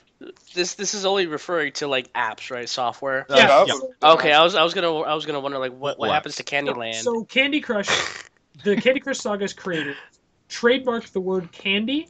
Immediately begin a series of lawsuits against anybody on the App Store with anything related to candy in their name. And it should be mentioned that these people had candy in their name before they created that trademark. Yeah. So if somebody else had done this, Yeah, yeah. except it wouldn't have been possible because Candy Crush made so much fucking money that they must have paid the best lawyers in the world to be getting away with this. yeah. And I mean, Candy Star, Candy Blitz, Candy Boom, uh, Smash Candy, Candy Blast, Candy Line, uh, Candy That's- Maker, Pop Candy, Candy Star, Candy Jewels. There's so many things called candy. That's Yep, that's the all these apps with, are going to get sued. That's the problem with just cop just being able to patent anything. Just this stupid, retarded, meaningless. Just I don't even I can't even express it. Well, Ah, it, it was like the like the Apple and uh, Samsung lawsuit. Not to go back to phones for too long, but like they were Well, the no. same thing, but aren't all phones? Like it, two tech technology. Ooh. it's it's fucking it's just ridiculous though to look at this and be like we took a word that has been in the english language for a retarded amount of time probably since the english language was fucking invented and we're now going to trademark it and crush anybody not to use the fucking shitty pun We'll crush anybody that gets in our way on our conquest to be the kings of candy. It's seriously like we are living in the fucking early script for Wreck It Ralph. This is actually happening now. I was just about to link you an image of King Candy. I had it copied.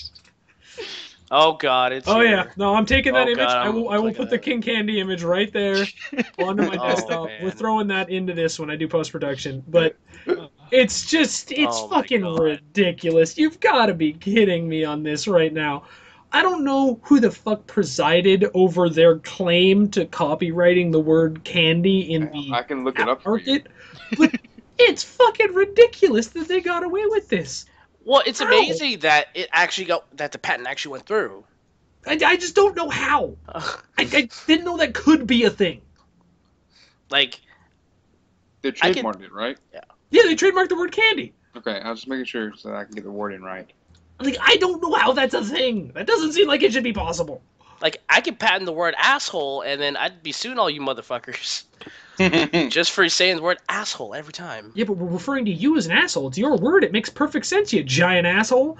Yeah, that's why I'd sue you, asshole. Dick. Or- Real quick, I just something just posted up on Reddit. Reddit, refresh the page. Reddit. Oh Reddit my and go to the new, go to the new page. There's a there's a game called Monster Monpiece coming out on Vita, and you literally have to rub up on females to turn them on, and that is the game.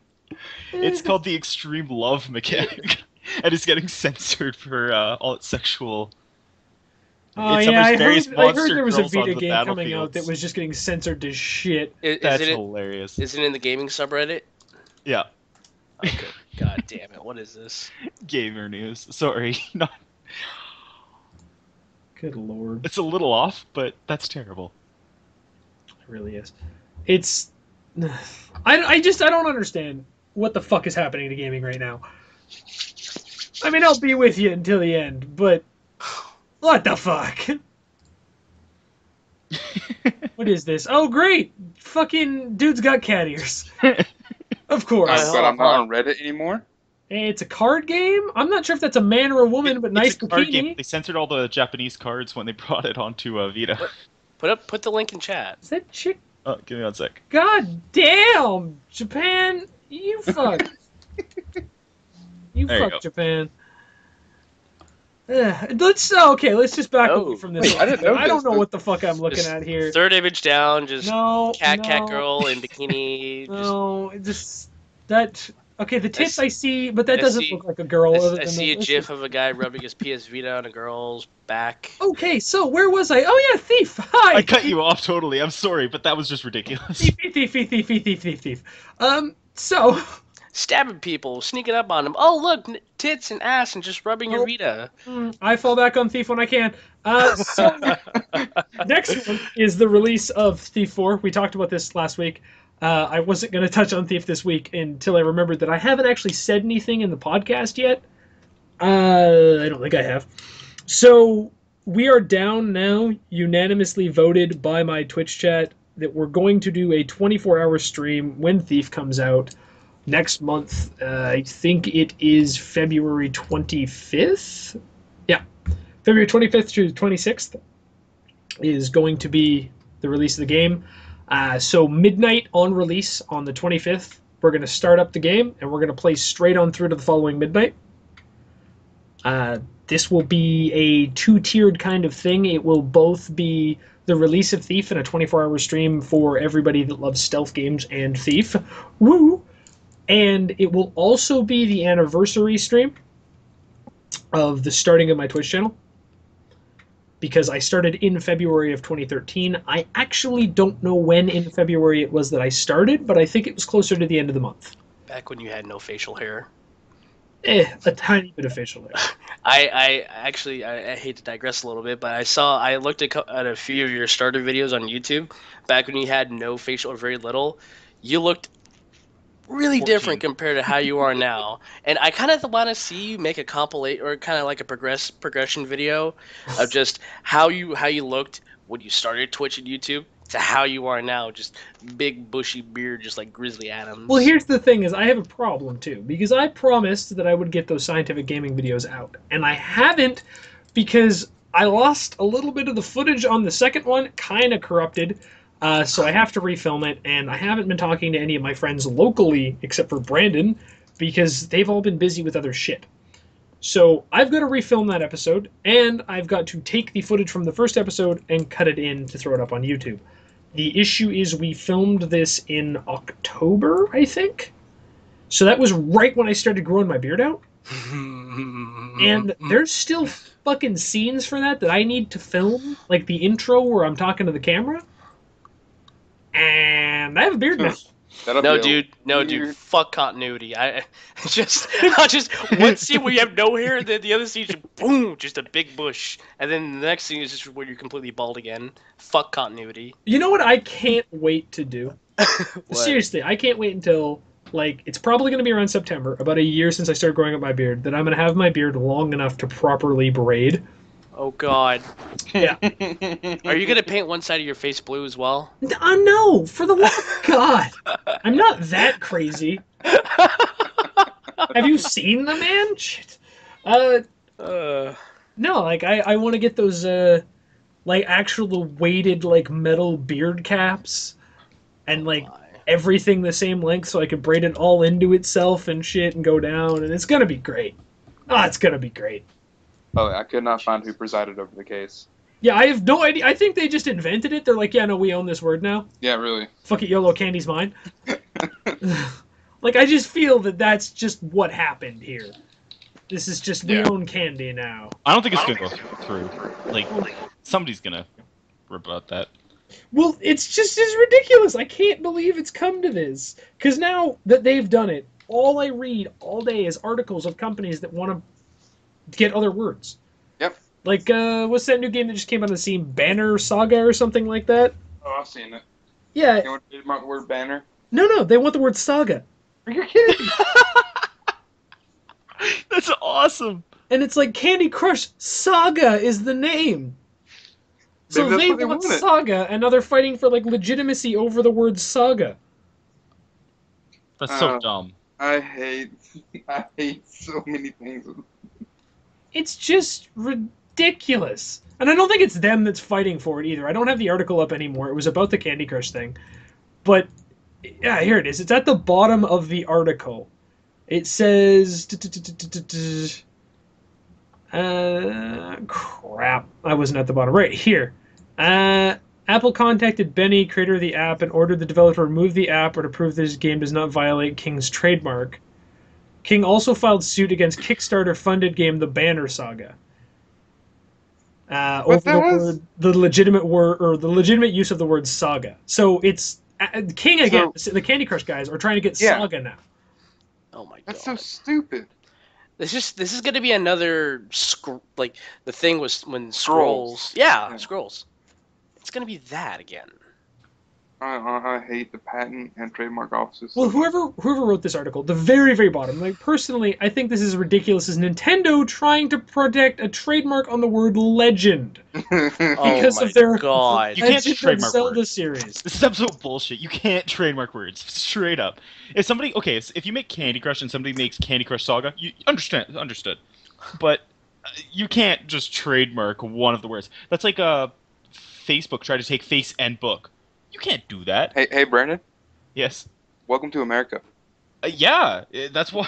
We're not in your shitty country, damn it! Well, Or speaking of, Everyone is so happy. Yay. Yes, I was gonna say there's um there's uh, some guy who works in our town. He makes uh, dog biscuits, and I work in in a pet store for one of my jobs. And we were the first ones to stock him. Now he's all through like Western Canada, and he started going to the U.S. He he had no problem in Canada, not one. He sent it to the U.S. Within two weeks, he had 13 threats for suing because oh Yep. it ripped my dog's tooth out. What Yep. the fuck?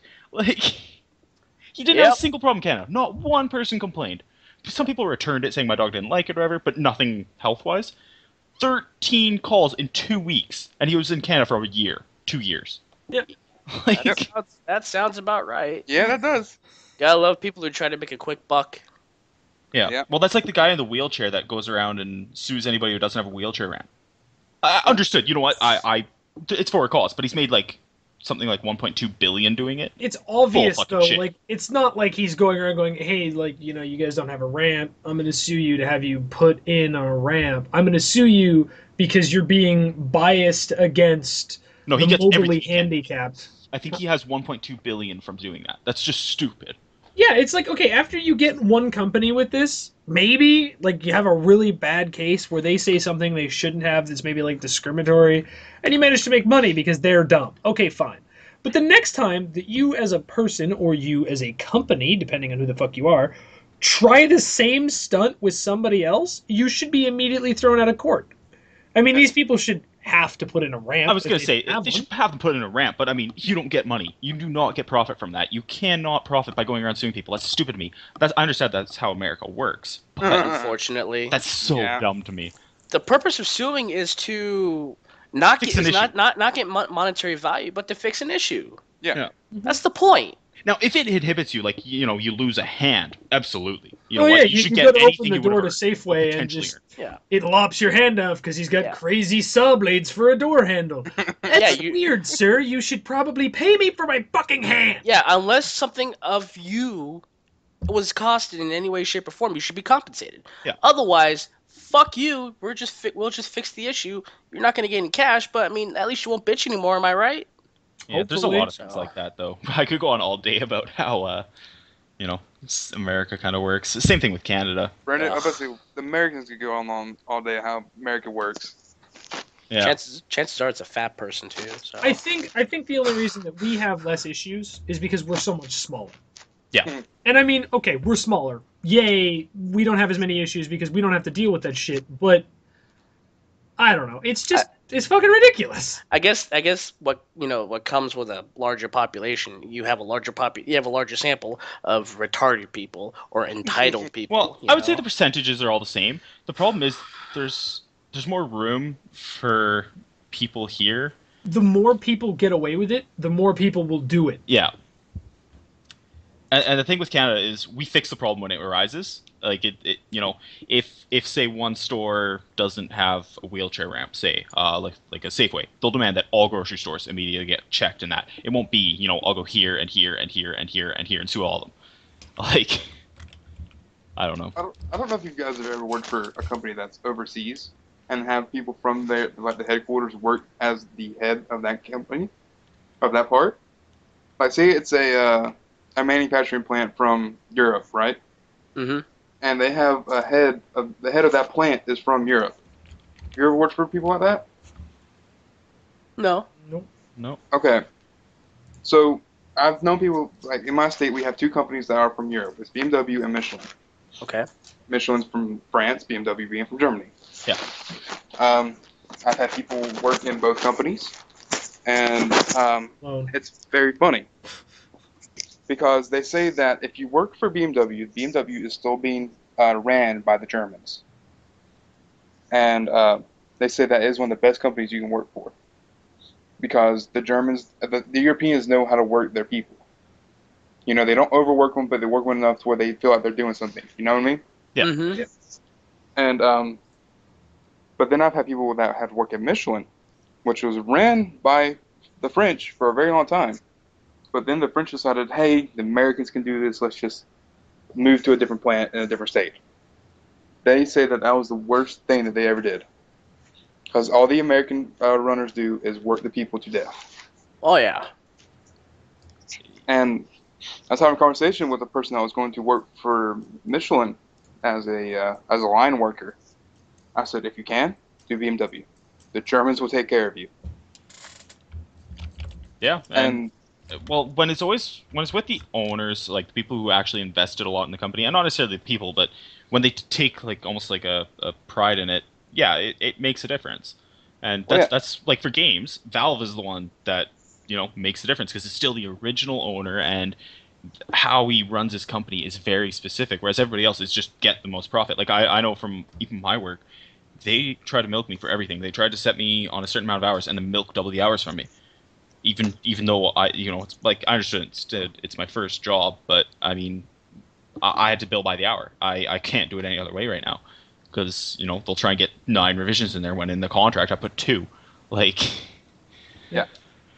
just gets dumb. And and then they demand that oh well you didn't say that it's in the fucking contract you signed it. I did that for a reason, but I got I got I got one company that owes me nine hundred bucks right now. Um, now that, that that said, they've paid me like six grand, but so I'm not really fighting too hard on this on the 900 because I like to keep my ta contacts. But I email them once in a while, just saying, "Hey, this still needs to go." So Yeah. and there's a lot of game companies like that. Yeah, well, there's a lot of companies like that in general. Well, they have to sell themselves financially. Uh, studios can't survive without some sort of business funding Yeah. uh, because they have to pour so much into the game to get anything back. The game Yeah. has to be finished and, and moved. Like you, you can't operate that way when you're doing two years. It's Um, it's really so- unfortunate because we've talked about that before. Is that a game company will come in and it's like this game got to come out, go go go now, and it really does. It's just it's really hard from an artistic point of view. We're talking about this. Was it on podcast or before? My memory is bad. We'll figure it out. um, eventually, when we rewatch, we'll have people laughing at us.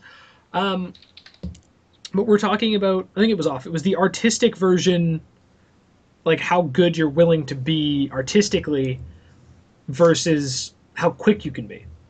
Yeah. Yeah. So if you're given an infinite time frame, you can make a beautiful game. But by the time you're done, technology's past you, and someone's made a better game, and you've now dropped yourself millions in the hole. Yeah, that and well, every time you delay, it costs you about two or three million, depending on the size of your studio.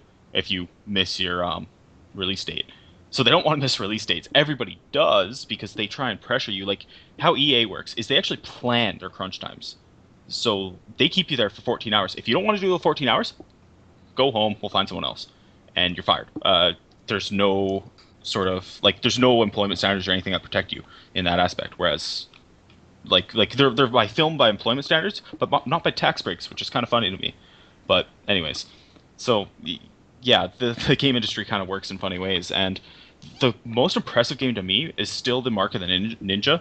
Uh, I talked to the guy that made the studio, and he started with an eighty thousand dollar budget, and then when he took it to uh, game uh, festivals and things like that, like competitions, it got so many awards that he decided to try and talk to somebody, get an extra sixty thousand dollars in funding, and put more time into it. The original was eight months. It ended up taking sixteen, and he made uh, the all-time best games list on a hundred fifty thousand dollar game with six people working on it. Wow. Yeah, like I think it came just below uh, Halo One on IGN's list. Good Gotcha. lord. IGN top games of all time. Let's see. It's just it's amazing to me what a lot of these indie things can do now, especially when they come in. I mean, Mark of the Ninja is a fun game. It's not, you know, AAA amazing, but for the price and the people working on it, it's still a fun game. Yeah.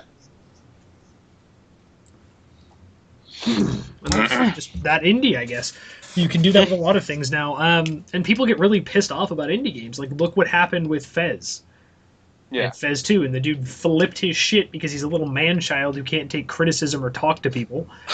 Decides, fuck this, no one's getting the game. You win, and runs off. It almost sounded to me like he was looking for an excuse to take the money and run. But it was. it's just indie games have become huge over the last like three years. That's pretty ironic, if anything. They went from nothing to that's like it's the hipster of gaming now. Well, uh, that's what it is. Like indie games have a lot of potential because there's no suits pushing it. I mean, you do have some, but typically You- they're really lenient because they don't have a lot invested. They're not investing, you know, twenty million dollars into the game or eighty million dollars into the game. It's you know, well, two hundred thousand dollars. I can make that in two months. Like, the thing the thing is they're not appealing to shareholders. Yeah. So they, they can follow their own standards. exactly. which is the big problem which is the biggest problem there is um, which kind of falls into the same situation with drm third party drms is that the shareholders have no fucking idea about what they're investing so they just demand that we need to protect our product as much as possible or else you know we're going to cut funding you know and that's really unfortunate so Yeah. Happens a lot too. So you know, if you if you're not having to worry about losing money from shareholders, then you can do whatever the fuck you want with your own content, and it could potentially be you know a thing that'll blow up. So Yeah. I mean, especially if you're throwing down, like you were just talking about, you're throwing, say, two hundred thousand dollars at a company to like make this game. Fuck off! Here's what you're getting, and then even indie games that don't do that well are still making basically their cost back because they're don't take a lot to buy or to use. Whereas if all of a sudden this indie game blows up, you release like I don't want to compare Candy Crush again because they're not really an indie game; they're more of a Facebook game, Mhm. which to me is casual mom gaming. social. Mobile games are totally different from indie gaming, Yeah. and it's but yeah, you can compare the two in certain ways. But I mean, you take a look at something like that, like how much would it really have cost you to make that? And then look at the amount of money they made. Well, isn't there an argument where they stole another Yeah, they Uh, stole the game, game? from uh, and it was else. like proven and the people can't do anything about it because they got too big too fast and didn't do anything about it or something like that. Yeah. It's in this article that I had where they're talking about uh, It stole. It basically, stole, from my understanding, when I read it way long ago, it was a game that was released eight months prior, or like seven months prior, on like iPhone two or something, and it sold uh, something like twenty thousand copies. Yeah. And then it went off the marketplace for two weeks, and because they posted up in that two weeks the same game with slightly different art, like code was identical, um, they now technically were in there first, and they and they can't do anything about it even though they were in there, they just forgot to renew their uh, spot. Like they, they rent slots or whatever it is.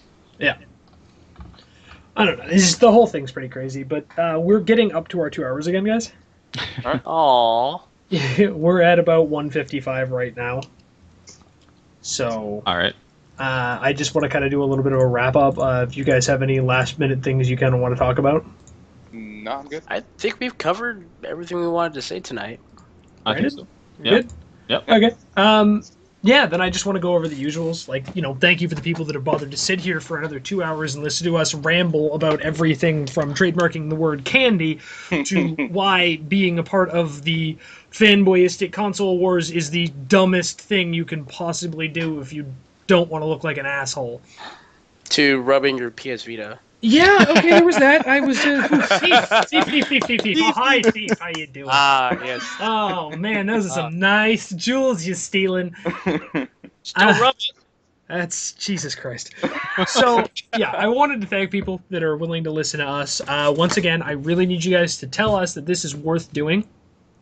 Um, the first video got a bunch of comments on it. Let us know that you know we were doing good. The second video, I got a little bit of comments in the Twitch channel itself, but I got I think one on the actual video saying, "Hey, this isn't so bad." If this is still going good, tell us. We're going to do one more at number four in the same format. Uh, number five, we're going to start streaming them, I think, assuming that this is what people want to see. We'll do a two hour stream on Saturday nights, uh, probably starting an hour to an hour and a half after when I normally do my stream. And I'll only do this. Uh, maybe we'll hang around for a little while, or at least I will after it's over to talk to anybody, or I'm even considering doing an intermission at the hour mark just to sit down and talk to the viewers at the halfway point and be like, is there anything else that you guys want to talk about with us right now? It would be great. You know, what did you think of the first half? What do you want to talk about? Uh, what do you want to touch up on more? And then we can get back into the second half. And after 10, which is still my plan, is to go to 10. If you guys are still down with these, if we're still getting over 100 views each at least, then I will start up um, doing actual video conferences. So from there on, the only people that will be invited to these calls are people that have cameras and are interested in being a part of this and are willing to give their at least a little bit of their information forward. Uh, I know I had a couple of guys joking about joining up with animated stick figure things. I actually don't mind that, but I'm still trying to move more towards having full body. You get to see us, see our facial features, our Watch me pick my nose as we talk about rubbing our Vitas. I was gonna say I'm gonna forget and shove my finger up my nose or something. oh man, go. Anyway, uh, you beating off? No. oh shit, I I can't. well, I did that this stream. That's why I was so quiet at one point. I can't. my mic and have some fun. Oh god. Wow. Okay, All your voices. I mean, it's so easy. Fucking Christ. Anyway, I just need you guys to tell us that this is awesome. Thank you again for watching. Uh, don't know what the plans are for the coming stream week. I never do. We've now kind of solidified that Fridays are going to be more of our community day.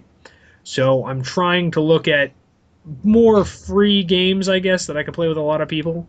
I mean, I will still play some paid games. We're talking about opening a vanilla Minecraft server because who the fuck really doesn't know Minecraft? Most people do. Uh, we're talking about getting back into GTA a little bit. We'll do that intermittently because quite a few of my viewers do have GTA and enjoy playing. Uh, so we'll take care of our Fridays. We've still got our weekends in the podcast. Uh, we're coming up to two 24 hour streams. Of course, we have Thief that I mentioned earlier on in the podcast.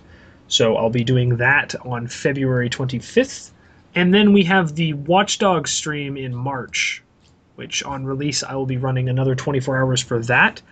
Uh, so we should have fun with that. I'm hoping in that two month gap that our numbers spike significantly again, like they have in the past when I'm playing new and popular games.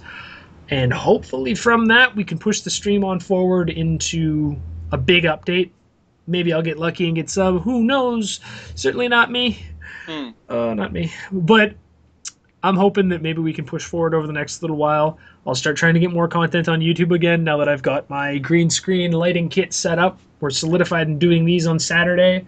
Gives me more time to work with other stuff, especially if we take this over to a streamed format. I am still going to post them on YouTube, but I might do a little bit less production than I had been before because it'll just give me more time to get other content out for you guys.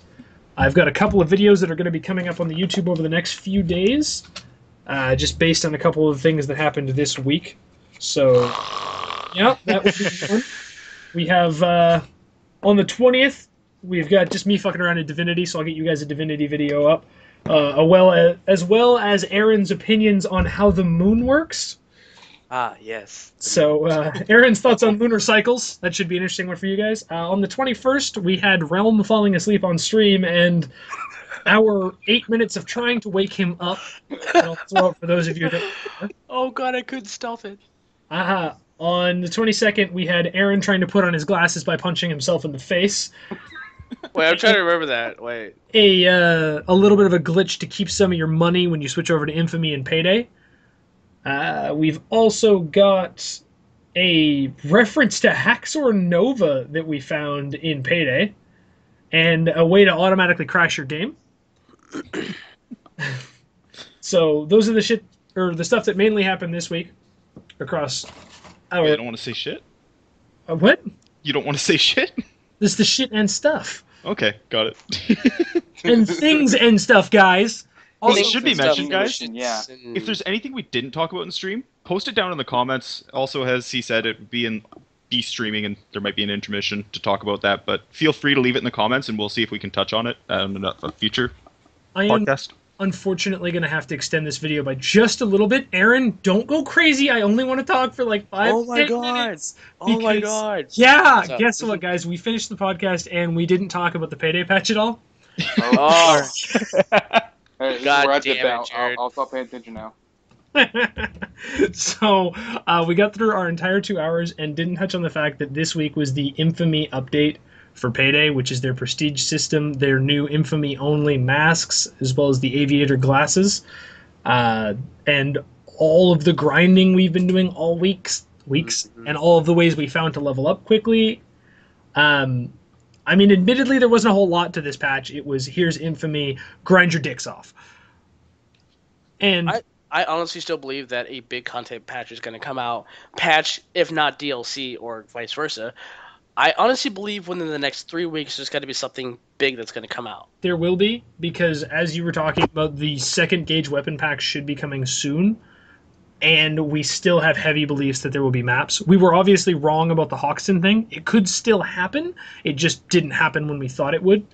Uh, Infamy's been cool. I've grinded myself up almost to Infamy 2, where I get to pick one of the skill trees and a new mask. I'll probably kick back and not payday too much after that because I'm just going to go back to playing it occasionally as I have now grinded so much over this last week that I can tell you the perfect step by step process to level up ridiculously quickly and fallback plans that are also kind of fast if you get bored of the first one. It's gotten insane. we're still hoping for some big patches coming here shortly. I think it's going to happen because Infamy really wasn't that big, It wasn't that big, and but they've been talking about new maps and guns. We know for sure the guns are coming.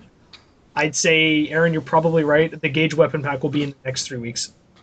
I I those those um mi- uh, mystery achievements are still there, right? Uh, no, those mystery achievements were for the Infamy guards. Okay. Yeah, you lost your good name was just resetting your prestige so everybody knows who you are. So there are five achievements, and they're for the five current levels of infamy. They'll be adding more in the future. Yes. Everything else is locked for now. Because I- there are four, eight, nine more levels that are currently locked. Also on the um the witch doctor mask, I found out why it's called the plague mask. I couldn't figure it out. I'm like, it's a bird. It's it's one that they used to to make sure that they didn't smell rotting bodies. Spices went in the beak, and they were made to look scared to scare spirits away. This is during the bubonic plague. That was that's why the plague masks are like that. Yeah. Okay. After seeing them in couldn't so many video games, I'd never actually known that. Yep. It's the bubonic plague mask. Okay. I'm Fun still fact. torn about if I want to get that one or the Spectre, but uh, I I would go suppose I'll Spectre know by personally one. if I were you. I'm thinking about it. You could always go witch doctor la- or witch or plague, whatever it is, Well, later. I was actually looking into a uh, a damage build that would be Enforcer Ghost, and it was a build that allowed you to sprint while fighting. So that Yeah, the would, sprint while reloading one it was nice. except that that's in the mastermind tree, so you'd have to split Oh. it three ways to get it. But you could at least deke somewhere to reload because you'd need to stop periodically to regenerate your stamina anyway. And I'm looking into this build as a high dodge, massive upfront hipfire damage, where you can just run around and murder things and take theoretically no damage, except when snipers and tasers get you. I've been using the uh, Payday 2 info website, and I, I I'm actually working on for when light machine guns do come into play. I want to completely respec into a strictly enforcer tech. Yeah. So that I could get that massive armor bonus. On top of the fact, I, I really don't know what class or what skill set the LMG is going to be categorized as. You know, you have the enforcer shotguns, technician rifles. Um, I, I want to believe it's going to be enforcer. It makes sense, except that they've talked about increasing and extending the skill trees in the past, but then that talk all kind of dropped off the board, and it has me thinking that it actually might not be too far out. Because they like to kind of hide the shit they work on. And I, I, I, want I'll be slow as shit, but I'll be able to, you know, kind of help throw, kind of help carry bags across, kind of help support my support the uh, other teammates. That's what I want to go for. And I'll be- LMGs bring back in suppressive fire. yeah, pure just pure tanking, like nothing else, just pure tank and DPS. Um, on onto the uh, jailbreak heist, I do because there's there's just so much blue balling from Goldfarb about the jailbreak heist. I do want to believe it's going to be less than a month that we're going to see something come out for that. But that's how I feel. I hope so. I mean, I'm not too worried about it anymore because things we touched on last week. I mean, we've got Thief coming, we've got The Last of Us DLC coming. Uh, there's a couple of other good games I was just looking at that I can't think of their names off the top of my head that are all coming next month.